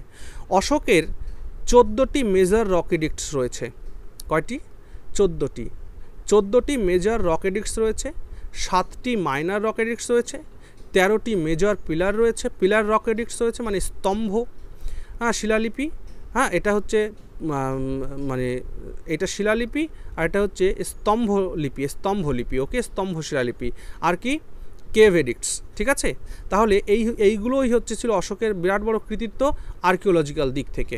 এবার অশোকের যে মেইন জিনিস সেটা হচ্ছে ফরটিন মেজর রকেডিক্স অশোকের যে চোদ্দোটি রকেডিক্স রয়েছে মেজর সেগুলোই খুব গুরুত্বপূর্ণ। আর মনে রাখবে, অশোকের লিপি বা ইনস্ক্রিপশান সেগুলো যে ভাষায় লেখা হয়েছিল, সেই ভাষাগুলো কিন্তু ছিল mainly Brahmi, Kharosthi Aramaic and Greek এই সমস্ত ভাষার ব্যবহারে কিন্তু তিনি লিখেছিলেন তার এই লিপিগুলোকে ওকে আচ্ছা অশোকের মেজর রকেডিক্টসের মধ্যে তার প্রথম রকেডিক্টসে কী বলা হচ্ছে? প্রহিবিশন অফ অ্যানিম্যাল স্লটার তাহলে ফার্স্ট রকেডিক্টে আমরা কি পাবো? ফার্স্ট রকেডিক্টে কিন্তু আমরা পেয়ে যাব যে প্রহিবিশন অফ অ্যানিম্যাল স্লটার তিনি অ্যানিম্যাল স্লটার করতে বারণ করছেন। মেজার অফ সেকেন্ড রক টেডিক্টে কী পেয়ে যাব? Measures of social welfare and treatment এই সেকেন্ড সেকেন্ড রক এডিক্ট থেকে কিন্তু বা দ্বিতীয় শিলালেখ থেকে কিন্তু আমরা জানতে পারব যে সমাজের ওয়েলফেয়ার কেমন ওয়েলফেয়ারের দিক দিক দিয়ে সে মৌর্যন মৌরিয়ান যুগে কেমন অবস্থা ছিল, সেখানে ট্রিটমেন্টের ব্যবস্থা কেমন ছিল, এই সমস্ত বিষয়ে জানতে পারব। আচ্ছা থার্ড রকেট থেকে আমরা জানতে পাই directions to the Pradeshikas Yuktas and Rajukas for the propagation of Dhamma এবং তার এই ধম্মটিকে প্রোপ্যাগেট করার জন্যে কিছু নির্দেশাবলী দেওয়া হয়েছিল প্রাদেশিকদের, যুক্তাসদের, রাজুকাসদেরকে ওকে আচ্ছা প্রাদেশিক যুক্তা, রাজুকা এরা কী কী কাজ করে, এরা আমরা পরের স্লাইডে আবার আসব, আলোচনা করব ওকে আচ্ছা ফোর্থ রকটেডিকটে কী পাওয়া গেল? এটা স্ক্রিনশট নেবে অথবা নোট লাগ করবে ওকে ফোর্থ ফোর্থে পাওয়া গেল replacement of Bherighosha to Dhammaghosha খুব ইম্পর্ট্যান্ট কিন্তু এটা, যে অশোকের কোন শিলালেখ থেকে বা কোন শিলালিপি থেকে জানা যায় যে অশোক তার যুদ্ধনীতিতে ভেরিঘোষ বাদ দিয়ে ধম্মঘোষকে অ্যাপ্লাই করেছিল, সেটা কিন্তু ফোর্থ রকেডিক থেকে জানা যায় ওকে আচ্ছা ফিফথ রকেডিক থেকে কি জানা যায়? অ্যাপয়েন্টমেন্টস অফ ধর্ম মহামাত্রাস ধর্ম মহামাত্রাদের যে অ্যাপয়েন্টমেন্ট হতো। সেটা কোন এডিক থেকে জানা যায়? ফিফথ এডিক থেকে জানা যায়। সিক্সথ এডিক থেকে কি পাওয়া যায়? Description of ministers council police system এই সম্পর্কে জানা যায়। সেভেন থেকে কি জানা যায়? নিড ফর টলারেন্স এবং অল রিলিজিয়ান্স মানে সমস্ত ধর্মের প্রতি একটা সহিষ্ণুতা থাকার প্রয়োজন রয়েছে। আট নম্বর থেকে কি জানা যায়? Details of visit of Ashoka to Bodhi tree এটা খুব ইম্পর্ট্যান্ট অশোক যে বোধি ট্রি ভ্রমণ করেছিলেন, সেই কাহিনী কোথা থেকে জানা যায়? আট নম্বর শিলালেখ থেকে জানা যায়। ওকে নয় number. Stress on ceremony of dhamma ঠিক আছে? ধম্মের জন্য যে সেরিমনি রয়েছে সেগুলোকে তিনি বাদ দিতে বলেন। যে ধম্ম পালন করতে কোনো ধরনের মানে পৌত্তলিকতার দরকার নেই, কোনো ধরনের সেরিমনি পালন করার দরকার নেই। Tenth, Ashoka's desire to gain popularity of for Dhamma. এবং দশ নম্বর শিলালেখ থেকে জানা যায় যে অশোকের ধম্মর জন্য তার একটা কামনা বাসনা ছিল যে সে জনপ্রিয় প্রিয় হবে বা সকলে তাকে মান্যতা দেবে, ওকে? এগারো নম্বর থেকে তার ধর্মনীতির কথা জানা যায়। তাহলে অশোকের ধর্মনীতির কথা কোন রকেট থেকে জানা যায়? এগারো নম্বর রকেট থেকে জানা যায়। বারো নম্বর দেখো, appeal for tolerance among all religions এবং তিনি তার জনগণের উদ্দেশ্যে অ্যাপিল করছেন যে তোমরা সবাই টলারেন্স হও, প্রত্যেক ধর্মের প্রতি টলারেন্স হও, ওকে? সাত নম্বর আর বারো নম্বর নিয়ে একটু গোলানোর মতন চান্স আছে। কিন্তু মনে রাখবে, সাত নম্বরে লেখা রয়েছে need for tolerance among all religions এই কথার মধ্য দিয়ে তিনি বোঝাতে চাইছেন যে প্রত্যেকটা মানুষের বৌদ্ধিক বিকাশ ঘটাতে হবে। বৌদ্ধিক বিকাশ ঘটিয়ে প্রত্যেকটা মানুষকে প্রত্যেকটা ধর্মের প্রতি সহনশীল করে তুলতে হবে। আর বারো নম্বরে কী বলা হচ্ছে? আপিল করা হচ্ছে আপিল মানে অনুরোধ করা হচ্ছে যে সমস্ত ধর্মের প্রতি টলারেন্স হও তোমরা ওকে তেরো নম্বর রকেডিক থেকে কি জানা যায়? মনে রাখবে, এই তার যে চোদ্দোটা রকেডিক সব থেকে বড় কিন্তু এই তেরো নম্বরটা। আর এই তেরো নম্বর রক এডিক্ট থেকে জানা যায় যে কলিঙ্গ যুদ্ধের কথা, ঠিক আছে? গ্রিক রুলার্সদের কথা কিন্তু এই তেরো নম্বর রক এডিক্ট থেকে জানা যায়। আর চোদ্দ নম্বর রক এডিক্টসে কী জানা যায়? চোদ্দ নম্বর রক এডিক্টসে জানা যায় যে তার এই শিলালিপি লেখাগুলোর উদ্দেশ্য কী? তিনি কেন এই শিলালেখ লিখলেন বা লেখালেন? তার এই শিলালেখ লেখার উদ্দেশ্যটা কি? Objectives of all the rock edicts is described in fourteenth major rock edicts of Ashoka ঠিক আছে? আচ্ছা এখান থেকে একটা প্রশ্ন আসে যে অশোকের যে রকেডিটসগুলো রয়েছে, এটা ফার্স্ট টাইম কে ডিসাইফার করেছিল? ডিসাইফার মানে পাঠোদ্ধার করা, পড়ে কে বুঝতে পেরেছিল? যে ভাষা যে ব্রাহ্মী খরস্টি আর মাইক বা গ্রিক, যে ভাষায় লেখা থাক, সেই লিপিগুলোকে পাঠোদ্ধার কে করেছিল? মনে রাখবে, আঠেরোশো সালে জেমস প্রিন্সেফ, আঠারোশো সালে জেমস প্রিন্সেপ প্রথম পাঠোদ্ধার করেন অশোকের শিলালিপির। ওকে খুব ইম্পর্ট্যান্ট ঠিক আছে? চলো নেক্সট স্লাইড দেখি। এইখানে আমি তোমাদের লুসেন্টের বই থেকে কতগুলো পয়েন্ট তুলে দিয়েছি, যেগুলো লেখার মতন নয়। যেমন এখানে লেখা লেখা রয়েছে কি যে, অশোকান এডিক্টস এখানে কি লেখা রয়েছে দেখো, Ashokan Ashokan edicts contents and inscriptions okay and found কোথায় খুঁজে পাওয়া গেছিল। তো এখান থেকে তোমরা দেখে নিও এবং তোমরা চাইলে এই জিনিসটা কিন্তু তোমরা লুসেন্টের অবজেক্টিভ জিকে থেকে কিন্তু দেখে নিতে পারো ওকে আচ্ছা। ওকে, হয়ে গেল এখান থেকে? ভেরি গুড এটা আমি আর বলছি না, এটা তোমরা তোমাদের বইতেই অ্যাভেলেবল পেয়ে যাবে, ওকে? আচ্ছা। এবার দেখো মেনি মৌরিয়ান অ্যাডমিনিস্ট্রেশন মৌর্য যুগে শাসন ব্যবস্থাটা কেমন ছিল? মৌর্যদের অ্যাডমিনিস্ট্রেশনটা কেমন ছিল? ঠিক আছে? মৌর্যদের অ্যাডমিনিস্ট্রেশন দুটো ভাগে ভাগ ছিল। একটা ছিল সেন্ট্রাল অ্যাডমিনিস্ট্রেশন একটা ছিল প্রভিন্স অ্যাডমিনিস্ট্রেশন তো সেন্ট্রাল অ্যাডমিনিস্ট্রেশনের ক্ষমতাই ছিল সর্বাধিক এবং যেটা হ্যান্ডেল করতো রাজা হ্যাঁ দ্য কিং তাহলে সেন্ট্রাল অ্যাডমিনিস্ট্রেশনের প্রধান ছিলেন রাজা, ঠিক আছে? এবং মৌর্য সাম্রাজ্যের পাঁচটি প্রভিন্স ছিল। সেই পাঁচটি প্রভিন্সের জন্য একদম ডিস্ট্রিক্ট লেভেল পর্যন্ত কিন্তু কাহিনী আছে এর মধ্যে। দেখো according to Kautilya the state is constituted of the Saptanga, ঠিক আছে? একটা স্টেট সপ্তাঙ্গ দিয়ে কমপ্লিট হতো। সপ্তাঙ্গ মানে সাতটি অঙ্গ সেভেন এলিমেন্টস দ্যাট ইজ স্বামী। আচ্ছা এই ভি মানে কিন্তু ডব্লিউ এর কাজ করে মনে রাখবে। আমরা স্বামী বললে কি লিখি? S W A M I R এই ডব্লুকে সাবস্টিটিউট করে একটা লেটার দ্যাট ইজ ভি ঠিক আছে? বয়ের উচ্চারণ হয়। স্বামী। দেখো, তাহলে প্রথমটা কি? প্রথমটা দেখো, স্বামী মানে দ্য কিং দ্বিতীয়টা কি? অমাত্য। অমাত্য মানে বোঝো আমলা। যারা হলো আমলা, অর্থাৎ মিনিস্টার অথবা high officials of the king okay number three Janapada. জনপদ মানে কি? পপুলেশন জনসংখ্যা, জনগণ। দুর্গ দুর্গ মানে কি? ফোর্ট যেখানে রাজা থাকবেন। কোষা কোষা মানে কি? ট্রেজারি মানে ধনভাণ্ডার ওকে আচ্ছা তারপর কি? বল। বল মানে কি? আর্মি মিত্র মানে কি? অ্যালয় বা ফ্রেন্ড অ্যালয় তো থাকতেই হবে কোনো একটা রাষ্ট্রের। তাহলে এই সাতটি জিনিস নিয়ে মৌর্য সাম্রাজ্যের মানে স্টেটের কনস্টিটিউশন গড়ে উঠেছিল ওকে আচ্ছা সেকেন্ড পয়েন্টে কি আলোচনা করা হয়েছে? The Mauryan empire had provincial administration provincial administrations which had various sub units down to the village and all this came under central administration তাহলে কি? একদম ভিলেজ লেভেল পর্যন্ত অ্যাডমিনিস্ট্রেশন লেভেল ছিল এবং এগুলো সবই কিন্তু সেন্ট্রাল অ্যাডমিনিস্ট্রেশনের আন্ডারে পড়তো। আচ্ছা মনে রাখবে এখানে গুরুত্বপূর্ণ কতগুলো জিনিস? সেটা হচ্ছে যে তীর্থসদের কথা মনে রাখবে তীর্থস তীর্থস মানে হাই অফিসিয়াল মানে head of the department Tirthas মানে হচ্ছে হেড অফ দ্য ডিপার্টমেন্ট মানে আমাদের এখন মিনিস্ট্রির কথা বলতে পারো মন্ত্রণালয়ের কথাও বলতে পারো তীর্থস তীর্থস মানে মন্ত্রা মন্ত্রণালয় মৌর্য যুগের মন্ত্রণালয় মানে তীর্থসদের কাহিনী। তো সেরকম মৌর্য যুগে আঠেরো জন তীর্থস ছিল। ঠিক আছে? আঠারো জন তীর্থস মানে মৌর্য যুগে আঠারোখানা মন্ত্রণালয় ছিল বলতে পারো, ওকে? দেখে নাও এবার সেগুলো। দেখো, আঠারোটি মন্ত্রণালয় নাম্বার ওয়ান মহামন্ত্রী বা মহামন্ত্রী পুরোহিত। মহামন্ত্রী পুরোহিত তিনি কে? তিনি হলেন চিফ মিনিস্টার অথবা চিফ প্রিস্ট। তারপরের ডিপার্টমেন্ট, সেনাপতির ডিপার্টমেন্ট। দেখতে থাকো, আমি আর লিখছি না, এখানে কোনো কিছু দাগ দিচ্ছি না। সেনাপতি সেকেন্ড ডিপার্টমেন্ট। সেনাপতি কি? Commander in chief. হ্যাঁ যুবরাজ মানে ক্রাউন প্রিন্স মানে স্বীকৃতিপ্রাপ্ত যুবরাজ, রাজার ছেলে ওকে দুয়ারা, দেখো, তারপরে দেখো লেখা হচ্ছে দ্বারিকা। দ্বারিকা মানে কি? দ্বারিকা মানে হচ্ছে চেম্বারলিন ওকে দেখো, তাহলে আমরা কি দেখলাম? যে দ্বারিকা তাহলে দুয়ারিকা মানে কি? চেম্বারলিন চেম্বারলিন মানে কি? যারা গৃহাধ্যক্ষ ছিল। মানে যে রাজ সরকার মানে রাজগৃহের যে রক্ষণাবেক্ষণ করত, সে ছিল চেম্বারলিন তারপরে কি? সরি পাঁচ নম্বর, কী লেখা রয়েছে? প্রশাস্ত্রী। প্রশাস্ত্রী কি বলা হতো? ইন্সপেক্টর জেনারেল অফ প্রিজন যারা প্রিজন জেলের রক্ষণাবেক্ষণ করতো। হুম? তাদের বলা হতো প্রশাস্ত্রী। তারপরে রয়েছে, দেখো শনিধত্ত। শনিধত্ত মানে কি? আচ্ছা তটকে তয়রফলাও বলতে পারো শনিধত্র শনিধত্ত মানে কি? ইনচার্জ অফ ট্রেজারি শনিধত্তরা কী করতো? ট্রেজারি ইনচার্জ ছিল মানে কোষাগার। কোষাগারের ইনচার্জে এরা ছিল। তারপর ছিল নায়ক। নায়ক কাদের বলতে, বলা হতো? সিটি কনস্টেবলকে নায়ক বলা হতো, সাত নম্বর। সিটি কনস্টেবলকে নায়ক বলা হতো। আর কি রয়েছে? আর রয়েছে ব্যবহারিক। ব্যবহারিক মানে চিফ জাজ যে চিফ জাজ, সেই চিফ জাজকে মানে মুখ্য ন্যায়াধীশ, সেই মুখ্য ন্যায়াধীশকে বলা হতো ব্যবহারিক, হচ্ছে মন্ত্রী। মন্ত্রী কাদের বলা হতো?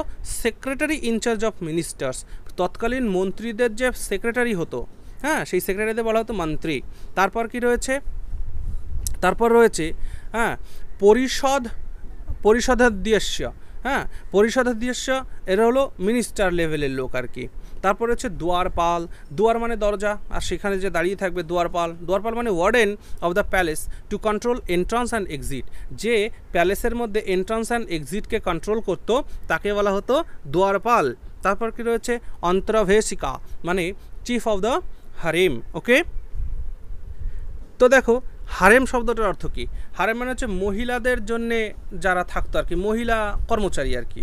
ঠিক আছে? তাহলে অন্তরাভেশিকা মানে হচ্ছে chief of the harem harem মানে হচ্ছে মহিলাদের থাকার জায়গা। সেই মহিলাদের থাকার জায়গার যে হেড মানে রানী, অর্থাৎ রাজ দরবার রাজ দরবারের যে রানী, তাদেরকে রক্ষণাবেক্ষণ করার জন্য যারা থাকতো, তাদেরকে বলা হতো অন্তরাভেশিকা ওকে তারপরে সমাহার্তা।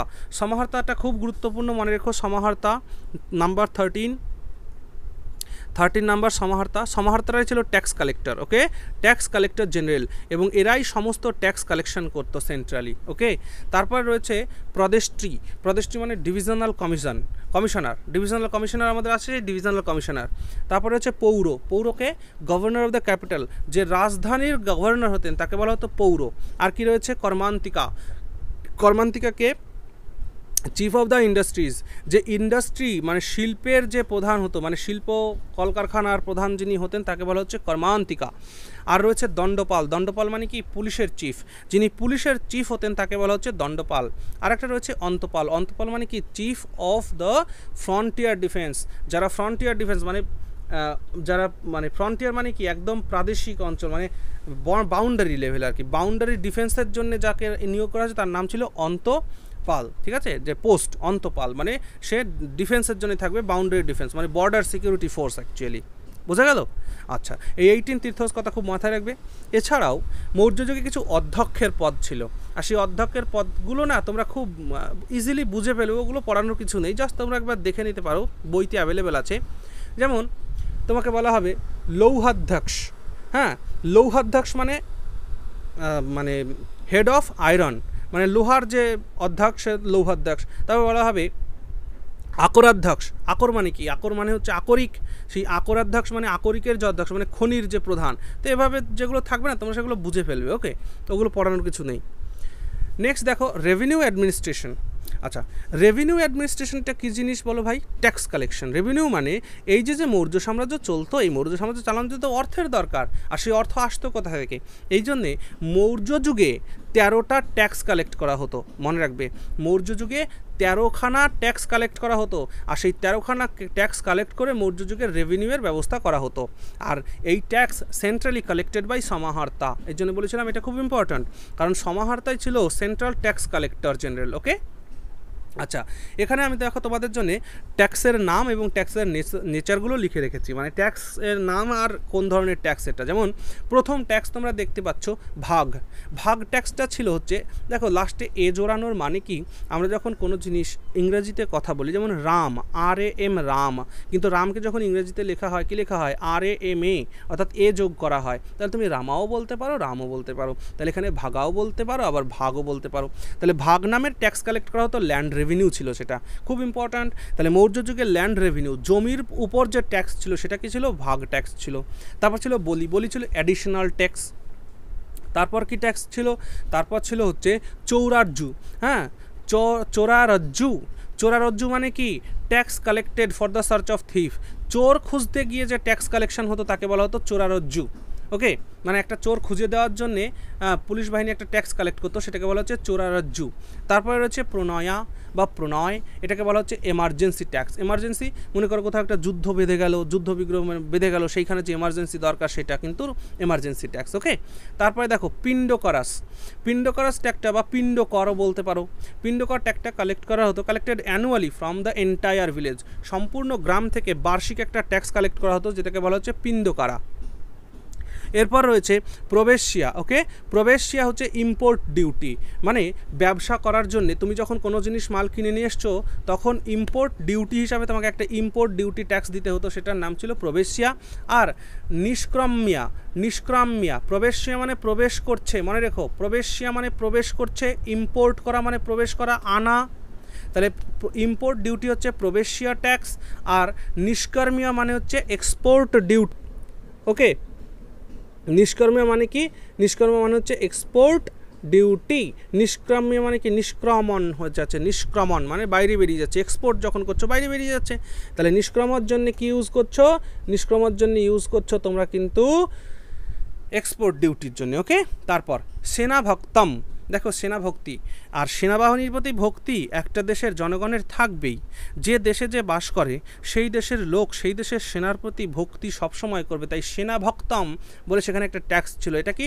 Tax for army from the region through which it passed. যখন কোনো অঞ্চল দিয়ে সেনাবাহিনী পাস করত আর তখনকার যুগ তো এখনকার মতন ছিল না যে বাই এয়ার পাঠিয়ে দেওয়া হলো। তখন এক রাজ্য থেকে আর এক রাজ্যে যখন সেনাবাহিনীকে পাঠানো হতো, তখন মাসের পর মাস, মাসের পর মাস লাগতো তাদের সেখানে পৌঁছানোর জন্যে।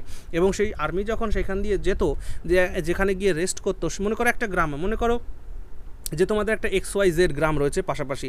এক্স গ্রামে যখন প্রবেশ করল সেনাদল, তখন ওই এক্স গ্রামের লোকেরা এই সেনাভক্তম ট্যাক্স দিয়ে সেনাদের ভক্তি করবে তাদের খাবার দাবার জোগাড় করবে। তারপর মনে করো ওয়াই গ্রামে যখন প্রবেশ করবে, তখন ওয়াই গ্রামের লোকেরা ট্যাক্স দেবে। তারপর যখন জেড গ্রামে প্রবেশ করবে, তখন জেড গ্রামের লোকেরা ট্যাক্স দেবে। তো সেনাভক্তম এরকমই একটা ট্যাক্স ছিল ওকে তারপর ছিল শুল্ক শুল্ক ছিল কাস্টম ডিউটি ওকে তারপর ছিল ভিস্টি ভিস্টি ছিল ফোর্সড লেবারের ডিউ ট্যাক্স ওকে তারপর ছিল হিরণ্য। হিরণ্য হচ্ছে probably R tax paid in gold যেটা সোনা হিসাব মানে সোনা দিতে হতো ট্যাক্স অ্যাজ আ গোল্ড ঠিক আছে? মানে সোনা হিসাবে তোমার কাছ থেকে ট্যাক্স নেওয়া হতো। কিন্তু একটা জিনিস মনে রেখো, মৌর্য যুগে সোনার টাকা বা সোনার কয়েনের ব্যবহার কিন্তু ছিল না। খুব গুরুত্বপূর্ণ কথা, মৌর্য যুগে সোনার কয়েনের ব্যবহার ছিল না। কি ছিল? সিলভার অ্যান্ড কপারের ছিল ওকে তারপরে দেখো, উদয় ভাগ, উদয় ভাগলোক বা সরি উদয় ভাগকাল, এটা ছিল ইরিগেশন ট্যাক্স মানে যে খাল, সেচ খালের জন্য যে ট্যাক্স নেওয়া হতো সেটাকে বলা হতো উদয় ভাগকাল, আর উদয় ভানু ট্যাক্সটাকে বলা হচ্ছে ইনকাম ট্যাক্স প্রশ্ন করে এখান থেকে খুব ইম্পর্ট্যান্ট যে মৌর্য যুগে ইনকাম ট্যাক্স কী নামে পরিচিত ছিল? মৌর্য যুগে ইনকাম ট্যাক্স উদয় ভানু নামে পরিচিত ছিল। Uday Bhanu, Maurya income tax okay clear হলো? ল্যান্ড অ্যান্ড রেভিনিউ অ্যাডমিনিস্ট্রেশন বোঝা গেল? ভেরি গুড এবার চলে এসো জুডিশিয়ারি জুডিশিয়ারি মানে কি? বিচার ব্যবস্থা। এবার এই বিচার ব্যবস্থা যেটা আমরা জানতে পাই, সেটা কোথা থেকে জানতে পাই? কৌটিল্যের অর্থশাস্ত্র থেকে জানতে পাই। আর মৌর্য যুগে যে বিচার ছিল, সেই বিচার ব্যবস্থাটা ছিল চারটে জিনিসের উপরে বেস করে কি? ধর্ম, ব্যবহার, চরিত্র, রাজশাসন। তাহলে এই ধর্ম, ব্যবহার, চরিত্র, রাজশাসন এই চারটে জিনিসের উপরে ভিত্তি করে কিন্তু মৌর্য যুগে আইন রচিত হতো। Chief justice of supreme court was called Dharmadhikari. তাহলে মৌর্য যুগে যে প্রধান প্রধান বিচারপতি ছিল মানে সুপ্রিম কোর্টের চিফ যে জাস্টিস ছিল, তাকে কি বলা হতো? ধর্মাধিকারী বলা হতো। আর মনে রাখবে, এই কোর্ট ব্যবস্থাকে দুটো ভাগে ভাগ করা হতো। ফার্স্ট ওয়ান ইজ ধর্মসাথিয়া হ্যাঁ ধর্মস্থিয়া ধর্মস্থিয়া যেটাকে বলা হতো সিভিল কোর্ট। সিভিল কোর্ট, সেটা হেডেড বাই ধর্মস্থ। তাহলে ধর্মস্থ অর্থাৎ সিভিল কোর্ট হ্যাঁ? সেটাকে বলা হতো ধর্মস্থিয়া। আর সেকেন্ড যেটা ক্রিমিনাল কোর্ট সেই ক্রিমিনাল কোর্টকে বলা হতো কন্টকশোধন হ্যাঁ? Headed by Pradeshika. আচ্ছা সিভিল কোর্ট কি ক্রিমিনাল কোর্ট কি? এটা আমরা আর কিছুদিনের মধ্যেই ইন্ডিয়ান পলিটি শুরু করব। সেই ইন্ডিয়ান পলিটির মধ্যে আমি অবশ্যই তোমাদের এগুলো খুব ডিটেলসে পড়াবো, চিন্তার কোনো কারণ নেই ওকে আচ্ছা যেমন দেওয়ানি আর ফৌজদারি কোর্ট এটাও সেই সেম সেম সিস্টেম ওকে তাহলে জুডিশিয়ারিও বোঝা গেল জুডিশিয়ারি থেকে কি বোঝা গেল যে মৌর্য যুগে চারটি জিনিসের উপরে ভিত্তি করে আইন তৈরি হতো কি? একটা হচ্ছে ধর্ম, ব্যবহার, চরিত্র, রাজশাসন। এবার, মৌর্য যুগে যে সুপ্রিম কোর্টের প্রধান বিচারপতি, তাকে বলা হতো ধর্মাধিকারী বা ধর্মাধিকারীন। কোথায় কোথায়? আবার লাস্টে এন যোগ করেও পেয়ে যেতে পারে, ধর্মাধিকারী না। বা ধর্মাধিকারী, ওকে? আচ্ছা এই কোর্টকে দুটো ভাগে ভাগ করতে একটা সিভিল কোর্ট, একটা ক্রিমিনাল কোর্ট। সিভিল কোর্টকে বলা হতো ধর্মাস্থিয়া, ক্রিমিনাল কোর্টকে বলা হতো কণ্টকশোধনা এই সিভিল কোর্টে যারা বিচার করতো, অর্থাৎ ধর্মাস্থিয়া কোর্টে যে বিচার করতো, তাদের বলা হতো ধর্মস্থা। আর যারা কণ্টকশোধন এই ক্রিমিনাল কোর্টের বিচার করতো, তাদের বলা হতো প্রাদেশিক, ঠিক আছে? ওকে নেক্সট দেখো আর্মি দেখো। Mauryan empire had a huge army and they also maintained a navy hmm, এদের কিন্তু আর্মির সঙ্গে সঙ্গে নেভিও কিন্তু ছিল মাথায় রাখবে। অ্যাকর্ডিং টু মেগাস্থেনিস মেগাস্থেনিসের মতানুসারে the administration of army was carried by a board of thirty officers divided into six committee consisting of five members বলছে যে এই মৌর্য যুগে আর্মিদের ছয়টা কমিটি ছিল, ছয়টা আর্মিদের কমিটি ছিল আর প্রত্যেকটা কমিটিতে পাঁচজন করে লোক ছিল। তাহলে পাঁচ, ছয়, তিরিশ জন অফিসার কিন্তু টোটাল আর্মিকে দেখাশোনা করত। এবার সেই ছয়টা কমিটির নাম কি? একটা হলো ইনফ্যান্ট্রি। ইনফ্যান্ট্রি মানে কি? পদাতিক। যারা পায়ে হেঁটে যে সৈন্যরা চলে তাদের বলা হয় ইনফ্যান্ট্রি। ক্যাভেলরি কাকে বলে? যারা ঘোড়ায় চড়ে হ্যাঁ যারা ঘোড়ায় চড়ে সৈন্যবাহিনী মানে অশ্বারোহী বাহিনীকে ক্যাভেলরি বলা হয়। এলিফ্যান্টস মানে কি? হস্তি বাহিনী ওকে চ্যারিয়টস মানে রথবাহিনী নেভি মানে নৌবাহিনী, আর ছিল একটা ডিপার্টমেন্ট ট্রান্সপোর্ট মানে তাদের এই যে যে যুদ্ধর সরঞ্জাম অস্ত্র শস্ত্র নিয়ে যেতে হবে এই ট্রান্সপোর্টের জন্য আরেকটা ডিপার্টমেন্ট ছিল ওকে খুব গুরুত্বপূর্ণ কিন্তু। স্পায়নেজের কথা যদি বলো, খুব ইম্পর্ট্যান্ট মনে রাখবে, মৌর্য যুগে মৌর্য যুগে যে স্পাই, মৌর্য যুগে স্পাইদের কি বলা হতো? মৌর্য যুগে স্পাইদের বলা হতো গুড় পুরুষ গুড় পুরুষ। এখানে গুড়া পুরুষ বলে দিও না জানো তোমরা। এই ডিএইচ র হচ্ছে ডিএইচ হয় র।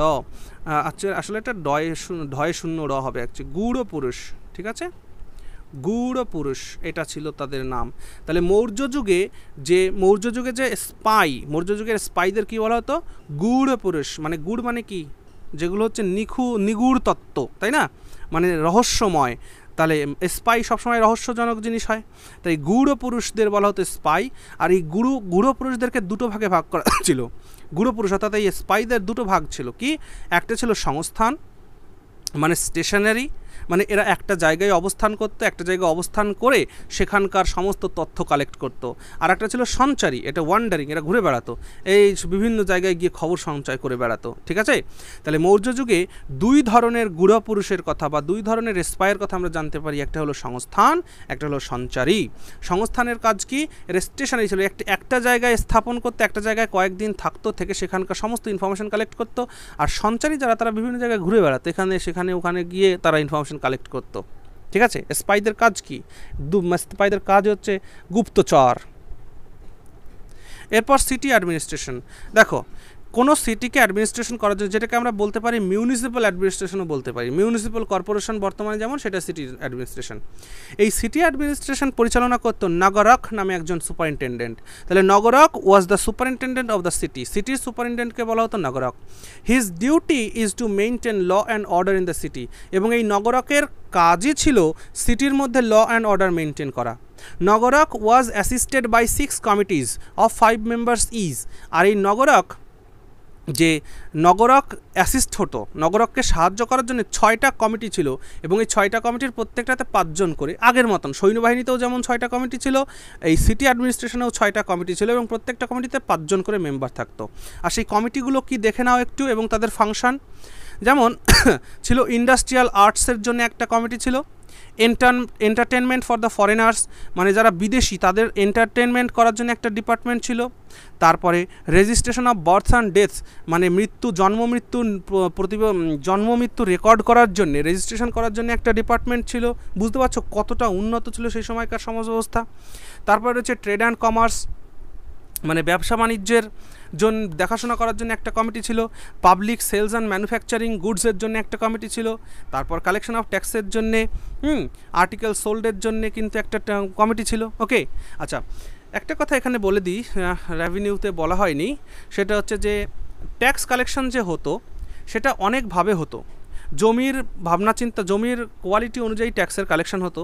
সেখান থেকে শুরু হতো ওয়ান ফোর্থ হ্যাঁ one fourth tax one sixth one tenth এভাবে নেওয়া হতো। অর্থাৎ দেখো, এই যে যে কালেকশন অফ ট্যাক্স সিটি লেভেলে যে ট্যাক্সটা নেওয়া হতো, মনে করো তুমি একটা জিনিস যদি একশো টাকা দিয়ে কেনো, তার ওয়ান টেন্থ তোমাকে দিয়ে দিতে হবে।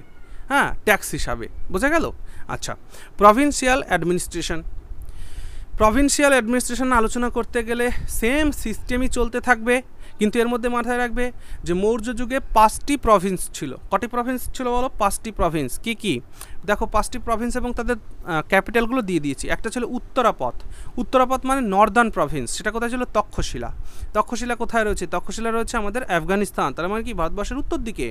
তাহলে উত্তরাপথ মানে উত্তরাপথ একটা প্রভিন্স ছিল, যেটা ছিল নর্দার্ন প্রভিন্স সেটার রাজধানী ছিল তক্ষশিলা। অবন্তী শাস, অবন্তী রাষ্ট্র অবন্তী রাষ্ট্র যেটা ছিল ওয়েস্টার্ন প্রভিন্স উজ্জয়িন। একটা ছিল প্রাচী। প্রাচী মানে ওয়েস্টার্ন অ্যান্ড সেন্ট্রাল প্রভিন্স। হ্যাঁ মানে পূর্ব এবং সেন্ট্রাল প্রভিন্সটা ছিল হচ্ছে পাটলিপুত্র, ওকে? আর কলিঙ্গ ছিল ইস্টার্ন প্রভিন্স তোষালি ঠিক আছে? রাজধানী ছিল দক্ষিণাপথ মানে সাউদার্ন প্রভিন্স। এর রাজধানী কোথায় ছিল? এর রাজধানী ছিল সুবর্ণগিরি। ওকে, ক্লিয়ার হলো? Very good. Next, provincial administrative units and their heads. দেখো, এই প্রভিন্সিয়াল অ্যাডমিনিস্ট্রেশনগুলো অ্যাডমিনিস্ট্রেশনগুলো চালানোর জন্য কিছু অ্যাডমিনিস্ট্রেশন ইউনিট গড়ে তুলেছিল। সে গড়ে তোলা হয়েছিল এবং তাদের হেডগুলোর কী কী নাম ছিল চক্র। চক্র মানে প্রভিন্স মানে স্টেট এক যে প্রধান ছিল তাকে বলা হতো রাষ্ট্রপাল বা কুমার। ঠিক আছে? দুই নাম্বার, আহার বা বিষয়, তার মানে ডিস্ট্রিক্ট এখন আমরা যেটাকে ডিস্ট্রিক্ট বলি, সেটা মৌর্য যুগে বলা হতো আহার বা বিষয়।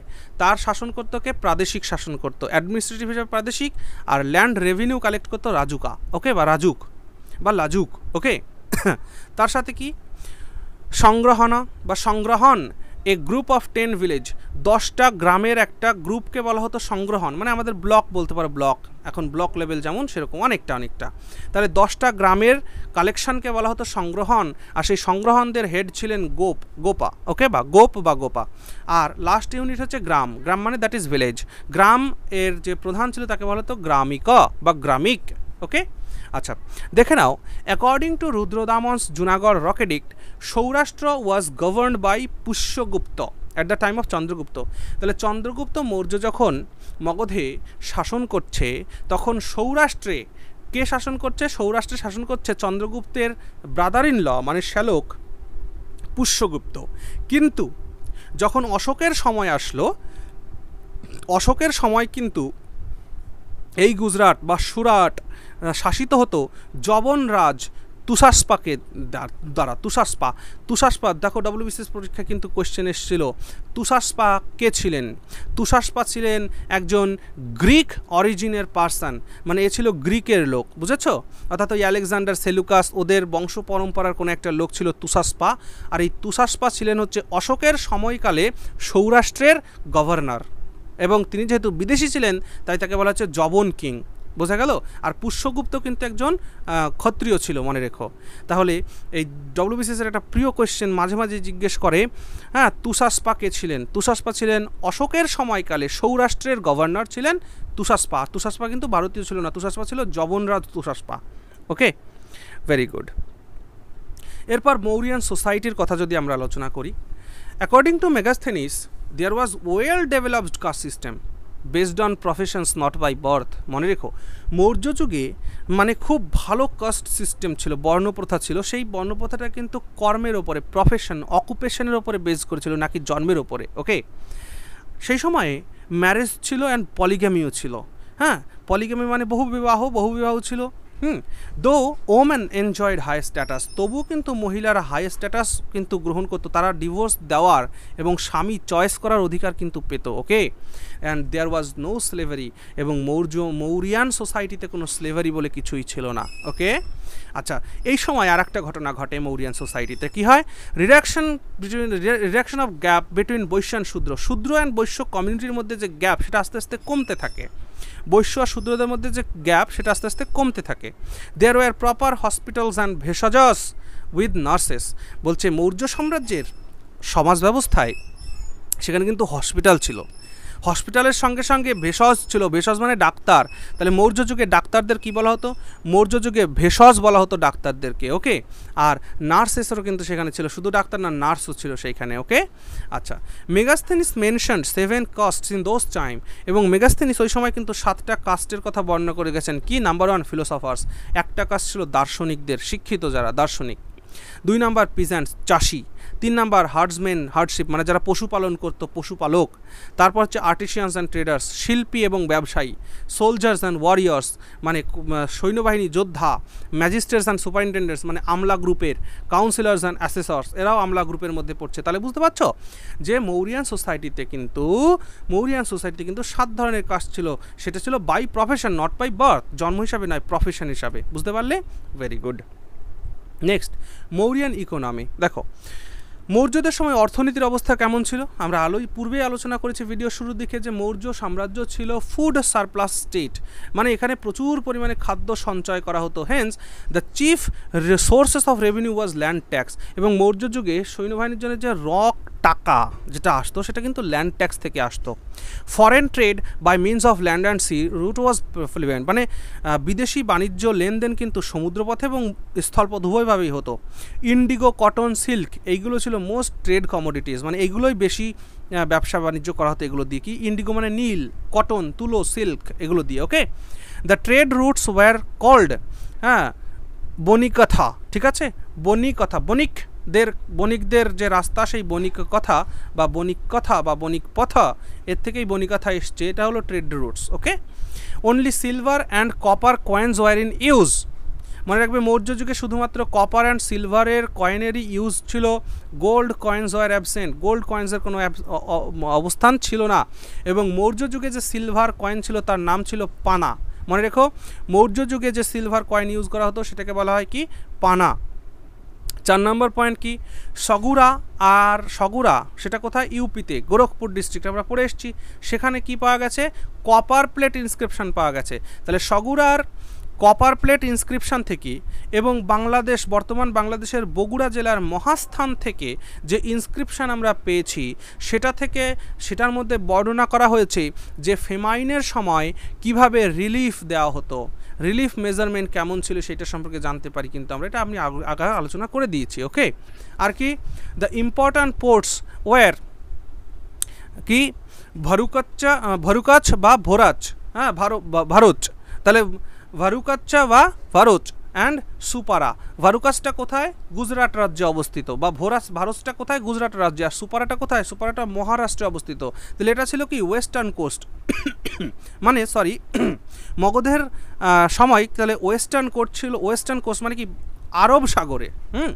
আরব সাগরে দিয়ে ব্যবসা বাণিজ্য করার জন্য দুটো বন্দর ছিল। সেই দুটো বন্দরের নাম কি? একটা হলো ভারত বন্দর, একটা হলো সুপারা। ভারত ছিল গুজরাটে, সুপারা মহারাষ্ট্রে ওকে আর একটা ইস্টার্ন কোস্টের কথা যদি বলো ইস্টার্ন কোস্ট ছিল আমাদের পশ্চিমবঙ্গে।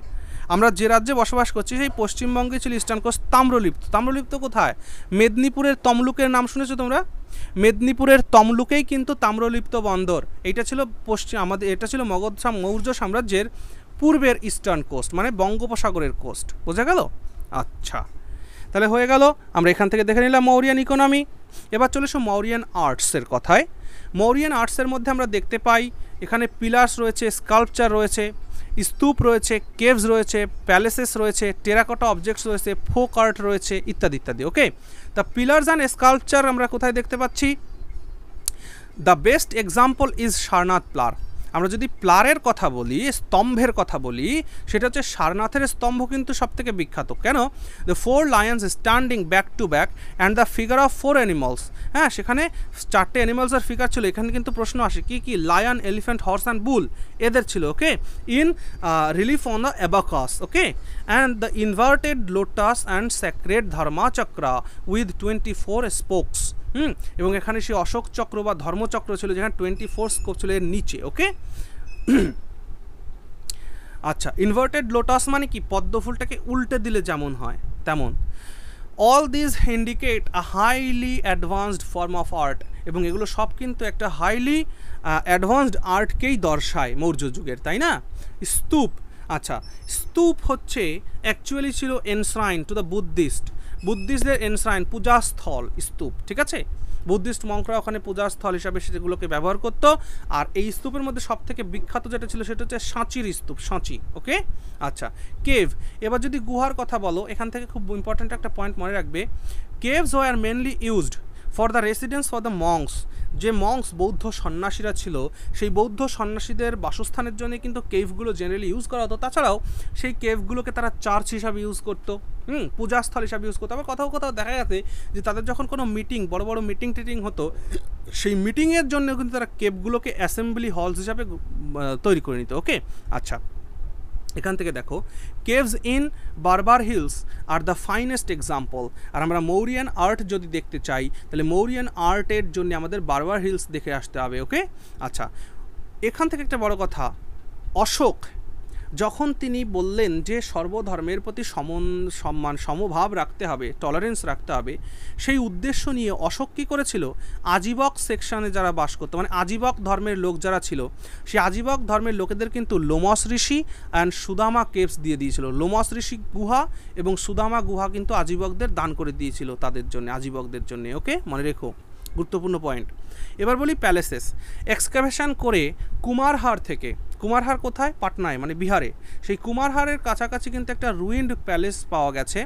ঠিক আছে? খনন কার্য করে সেটা কিন্তু মৌর্য যুগের প্যালেসই ছিল ওটা ওকে টেরাকোটা অবজেক্টসের কথা যদি বলি সবার আগে বলি, টেরাকোটা কি তোমরা জানো কি? টেরাকোটা কি? বলো তো। কমেন্ট সেকশনে জানিও। টেরাকোটা মানে তোমরা কি জানতে আগে ওকে বা জানতে কি না সেটা আমাকে জানিও। টেরাকোটা মানে হচ্ছে দেখো, পোড়ামাটির জিনিস। ঠিক আছে? পোড়ামাটির জিনিসকে বলা হয় টেরাকোটা। মানে পোড়ামাটির মৃৎপাত্র, মূর্তি এগুলোকে বলা হয় টেরাকোটা। তো mother goddess in clay have been discovered and Ahichhatra. Ahichhatra একটা মহাজনপদ নাম, মনে আছে তো? একটা ক্ল্যান। সেই অহিচ্ছত্র থেকে আমরা কিন্তু টেরাকোটা পাই মাদার গডেজের একটা মূর্তি পেয়েছি। তার তার সাথেও আমরা অনেক ধরনের মৃৎপাত্র, ঠিক আছে? কিন্তু সেখান থেকে আবিষ্কার করেছি, ওকে? এর সাথে চলে এসো ফোক আর্ট। ফোক আর্টের মধ্যে আমরা দেখব যে a stone made yaksha statue মানে যক্ষ যক্ষ যেটা রয়েছেন যক্ষ যাকে আমরা বলি, যক্ষ। সেই যক্ষ স্ট্যাচু ফ্রম হ্যাঁ পারখম পারখম থেকে আমরা যক্ষের মূর্তি পেয়েছি এবং যক্ষিণীর মূর্তি পেয়েছি বেশনগর থেকে। হ্যাঁ এগুলো হচ্ছে ফোক আর্টসের একটা বিরাট বড় কাহিনী। এবার এ কথা হচ্ছে যে এই মূর্তি দিয়ে ফোক আর্ট কীভাবে বোঝানো যায়? মূর্তি দিয়েই তো ফোক আর্ট বোঝানো যায়। কারণ যক্ষ বা যক্ষিণী, এরা তো আমাদের ফোক আর্টের মধ্যেই রয়েছে, আমাদের লোককথার মধ্যেই রয়েছে, লোকগাথার মধ্যেই রয়েছে। সেই লোকগাথা বা লোককথাকেই যখন মূর্তি বানিয়ে দেওয়া হয়েছে, তখনই সেটা হয়ে গেছে ফোক আর্ট আশা করছি ক্লিয়ার হলো? এরপর দেখো। আলোচনা আমরা খুব শেষের দিকে চলে এসেছি। ভিডিওটি তোমরা একবারে না পারলেও ভারে ভারে খণ্ড খণ্ড করে দেখবে। কিন্তু ইম্পর্ট্যান্ট পয়েন্টগুলো মনে রাখবে। এখান থেকে প্রত্যেকটা পয়েন্ট থেকে কোয়েশ্চেন করা যায় ওকে দেখো লেটার মৌরিয়ান্স তাহলে অশোক রাজত্ব করল দুশো বত্রিশ বিসি পর্যন্ত, আর মৌর্য সাম্রাজ্য টিকে ছিল একশো পঁচাশি বিসি পর্যন্ত। তাহলে মৌর্যের সরি অশোকের পরে কিন্তু একশো সাঁত্রিশ বছর মোট মৌর্য সাম্রাজ্য কিন্তু লাস্ট করেছিল মানে টিকে ছিল। তাহলে মোট একশো সাঁত্রিশ বছর টিকে ছিল অশোকের মৃত্যুর পরে, ঠিক আছে? Followed by the division of Mauryan empire into two parts that is eastern and western parts অশোকের মৃত্যুর পরে মৌর্য সাম্রাজ্য দুটো ভাগে ভাগ হয়ে যায়। আগেই আলোচনা করেছিলাম একটুখানি। একটা হলো ইস্টার্ন পার্ট একটা ওয়েস্টার্ন পার্ট তা অশোকের আচ্ছা সরি আমি একটু ভুল করেছি। আমি আগে বলেছিলাম যে ইস্টার্ন পার্ট অশোকের ছেলে রুল করছে তা নয় ওয়েস্টার্ন পার্টটা অশোকের ছেলে রুল করছে ওকে একটু কারেক্ট করে নিও আগের আলোচনাটা। তা the western part was ruled by অশোকার son Kunal Bharatvarsha Maurya সাম্রাজ্যের যে ইস ওয়েস্টার্ন পার্ট মানে পশ্চিমের যে অংশ, মৌর্য সাম্রাজ্যের পশ্চিমের অংশ অশোকের ছেলে কুনাল শাসন করত অ্যান্ড ইস্টার্ন পার্ট যেটা মানে পূর্ব পাশ যেটা, সেই পূর্ব পাশটা শাসন করত দশরথ নামের একজন রাজা, দশরথ ওকে আচ্ছা the last Mauryan ruler Brihadratha এবং শেষ মৌর্য বংশের রাজা কে ছিল? খুব ইম্পর্ট্যান্ট নামটা মনে রেখো, বৃহদ্রথ। তাহলে শেষ মৌর্য বংশের রাজার নাম কি? বৃহদ্রথ। বৃহদ্রথকে একশো পঁচাশি বিসিতে তাঁরই, অর্থাৎ বৃহদ্রথেরই যে সেনাপতি, যার নাম পুষ্যমিত্র শুঙ্গ, সেই পুষ্যমিত্র শুঙ্গ বৃহদ্রথের সেনাপতি ছিল সে। সে বৃহদ্রথকে হত্যা করে। হত্যা করে মৌর্য, হত্যা করে মৌর্য সাম্রাজ্যের পতন ঘটিয়ে শিশুনাগ ডাইনেস্টিকে মৌর্য মগধের সাম্রাজ্যে বসায়। তাহলে মৌর্য সাম্রাজ্য পার হওয়ার পরে আমরা দেখতে পারব শিশুনাগ ডাইনাস্টি ক্ষমতায় বসেছে। ওকে? শিশুনাগ ডাইনাস্টি, ঠিক আছে? আচ্ছা। তাহলে এখান থেকে বোঝা গেল, হয়ে গেল?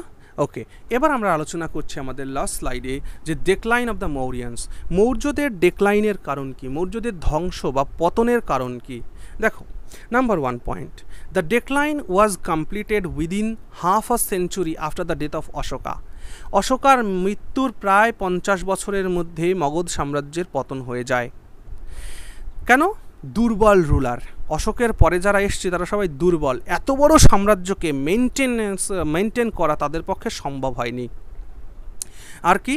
The partition of the Mauryan empire was the immediate cause of decline এবং মৌর্য সাম্রাজ্যের যে দুটো ভাগ হলো, দুটো ভাগই কিন্তু মৌর্য সাম্রাজ্যের ধ্বংসের অন্যতম কারণ হয়ে দাঁড়াল। Later Mauryan rulers are consider to be weak এবং পরবর্তী মৌর্য শাসকদের বলা হতো যারা দুর্বল, রাজ্য শাসন করার মতন যতটা ক্যাপাবিলিটি থাকা দরকার তা তাদের মধ্যে ছিল না। অশোকাস চার নম্বর কারণ কি? অশোকাজ প্যাসিফিস্ট পলিসি অশোকের যে শান্তির policy was one of the major cause of decline আমি আগেও আলোচনা করেছিলাম, অশোক যে শান্তির ধম্মের বাণী নিয়ে এসেছিল, তাতে তার সৈন্যবাহিনী একটু কমে গিয়েছিল, যাতে করে মগধ সাম্রাজ্যের ধ্বংস ত্বরান্বিত হয়েছিল। আর কি? Social disturbance also was also the cause of decline এবং অশোকের ধম্মনীতিতে অশোকের ধম্মনীতিতে পশু হত্যা বন্ধ করে দেওয়া হয়েছে। কিন্তু যারা যারা পশু হত্যা করে তাদের জীবন নির্বাহ করতো, যারা মাংস, মাছ, মাংস খেত, বিক্রি করতো, তাদের কিন্তু সে ব্যবসা বন্ধ হয়ে গেল। এই জন্যে বিভিন্ন, কারও কারও ভালো লাগলেও, কারও কারও মানে সমস্যা হয়ে গেল। আর সেই জন্যে কিন্তু সোশ্যাল ডিস্টারব্যান্স প্রচুর পরিমাণে বেড়ে গিয়েছিল, যার কারণেই একটা সাম্রাজ্য এত বৃহৎ, বড় সাম্রাজ্য ধ্বংস হয়ে গেল। ওকে? তাহলে ঠিক আছে, আজকে এই পর্যন্তই আলোচনা করলাম। কেমন লাগল তোমাদের লেকচারটি অবশ্যই আমাকে লিখে জানাও। কমেন্ট সেকশানে আর যদি লেকচারের কোথাও কোনো ইনফরমেশনে ভুল থাকে, তো আমরাকে সবাই তোমরা জানিয়ে দেবে যে ইনফরমেশানে একটু ভুল রয়েছে, যাতে করে কিনা সেটা আমি কারেক্ট করে নিতে পারি ওকে আর প্রত্যেকটা পয়েন্ট কিন্তু গুরুত্বপূর্ণ। আমি তোমাদের এটা প্রিলিমস মেন্স অ্যান্ড কম্পালসারি হিস্ট্রির জন্য কিন্তু পড়িয়ে দিলাম ওকে তো এটা ছিল একটা মাস্টার ক্লাস ক্লাসটি তোমাদের কেমন লাগল অবশ্যই কমেন্ট সেকশনে আমাকে জানাতে ভুলো না ওকে তাহলে শেষ করছি আজকের এই লেকচার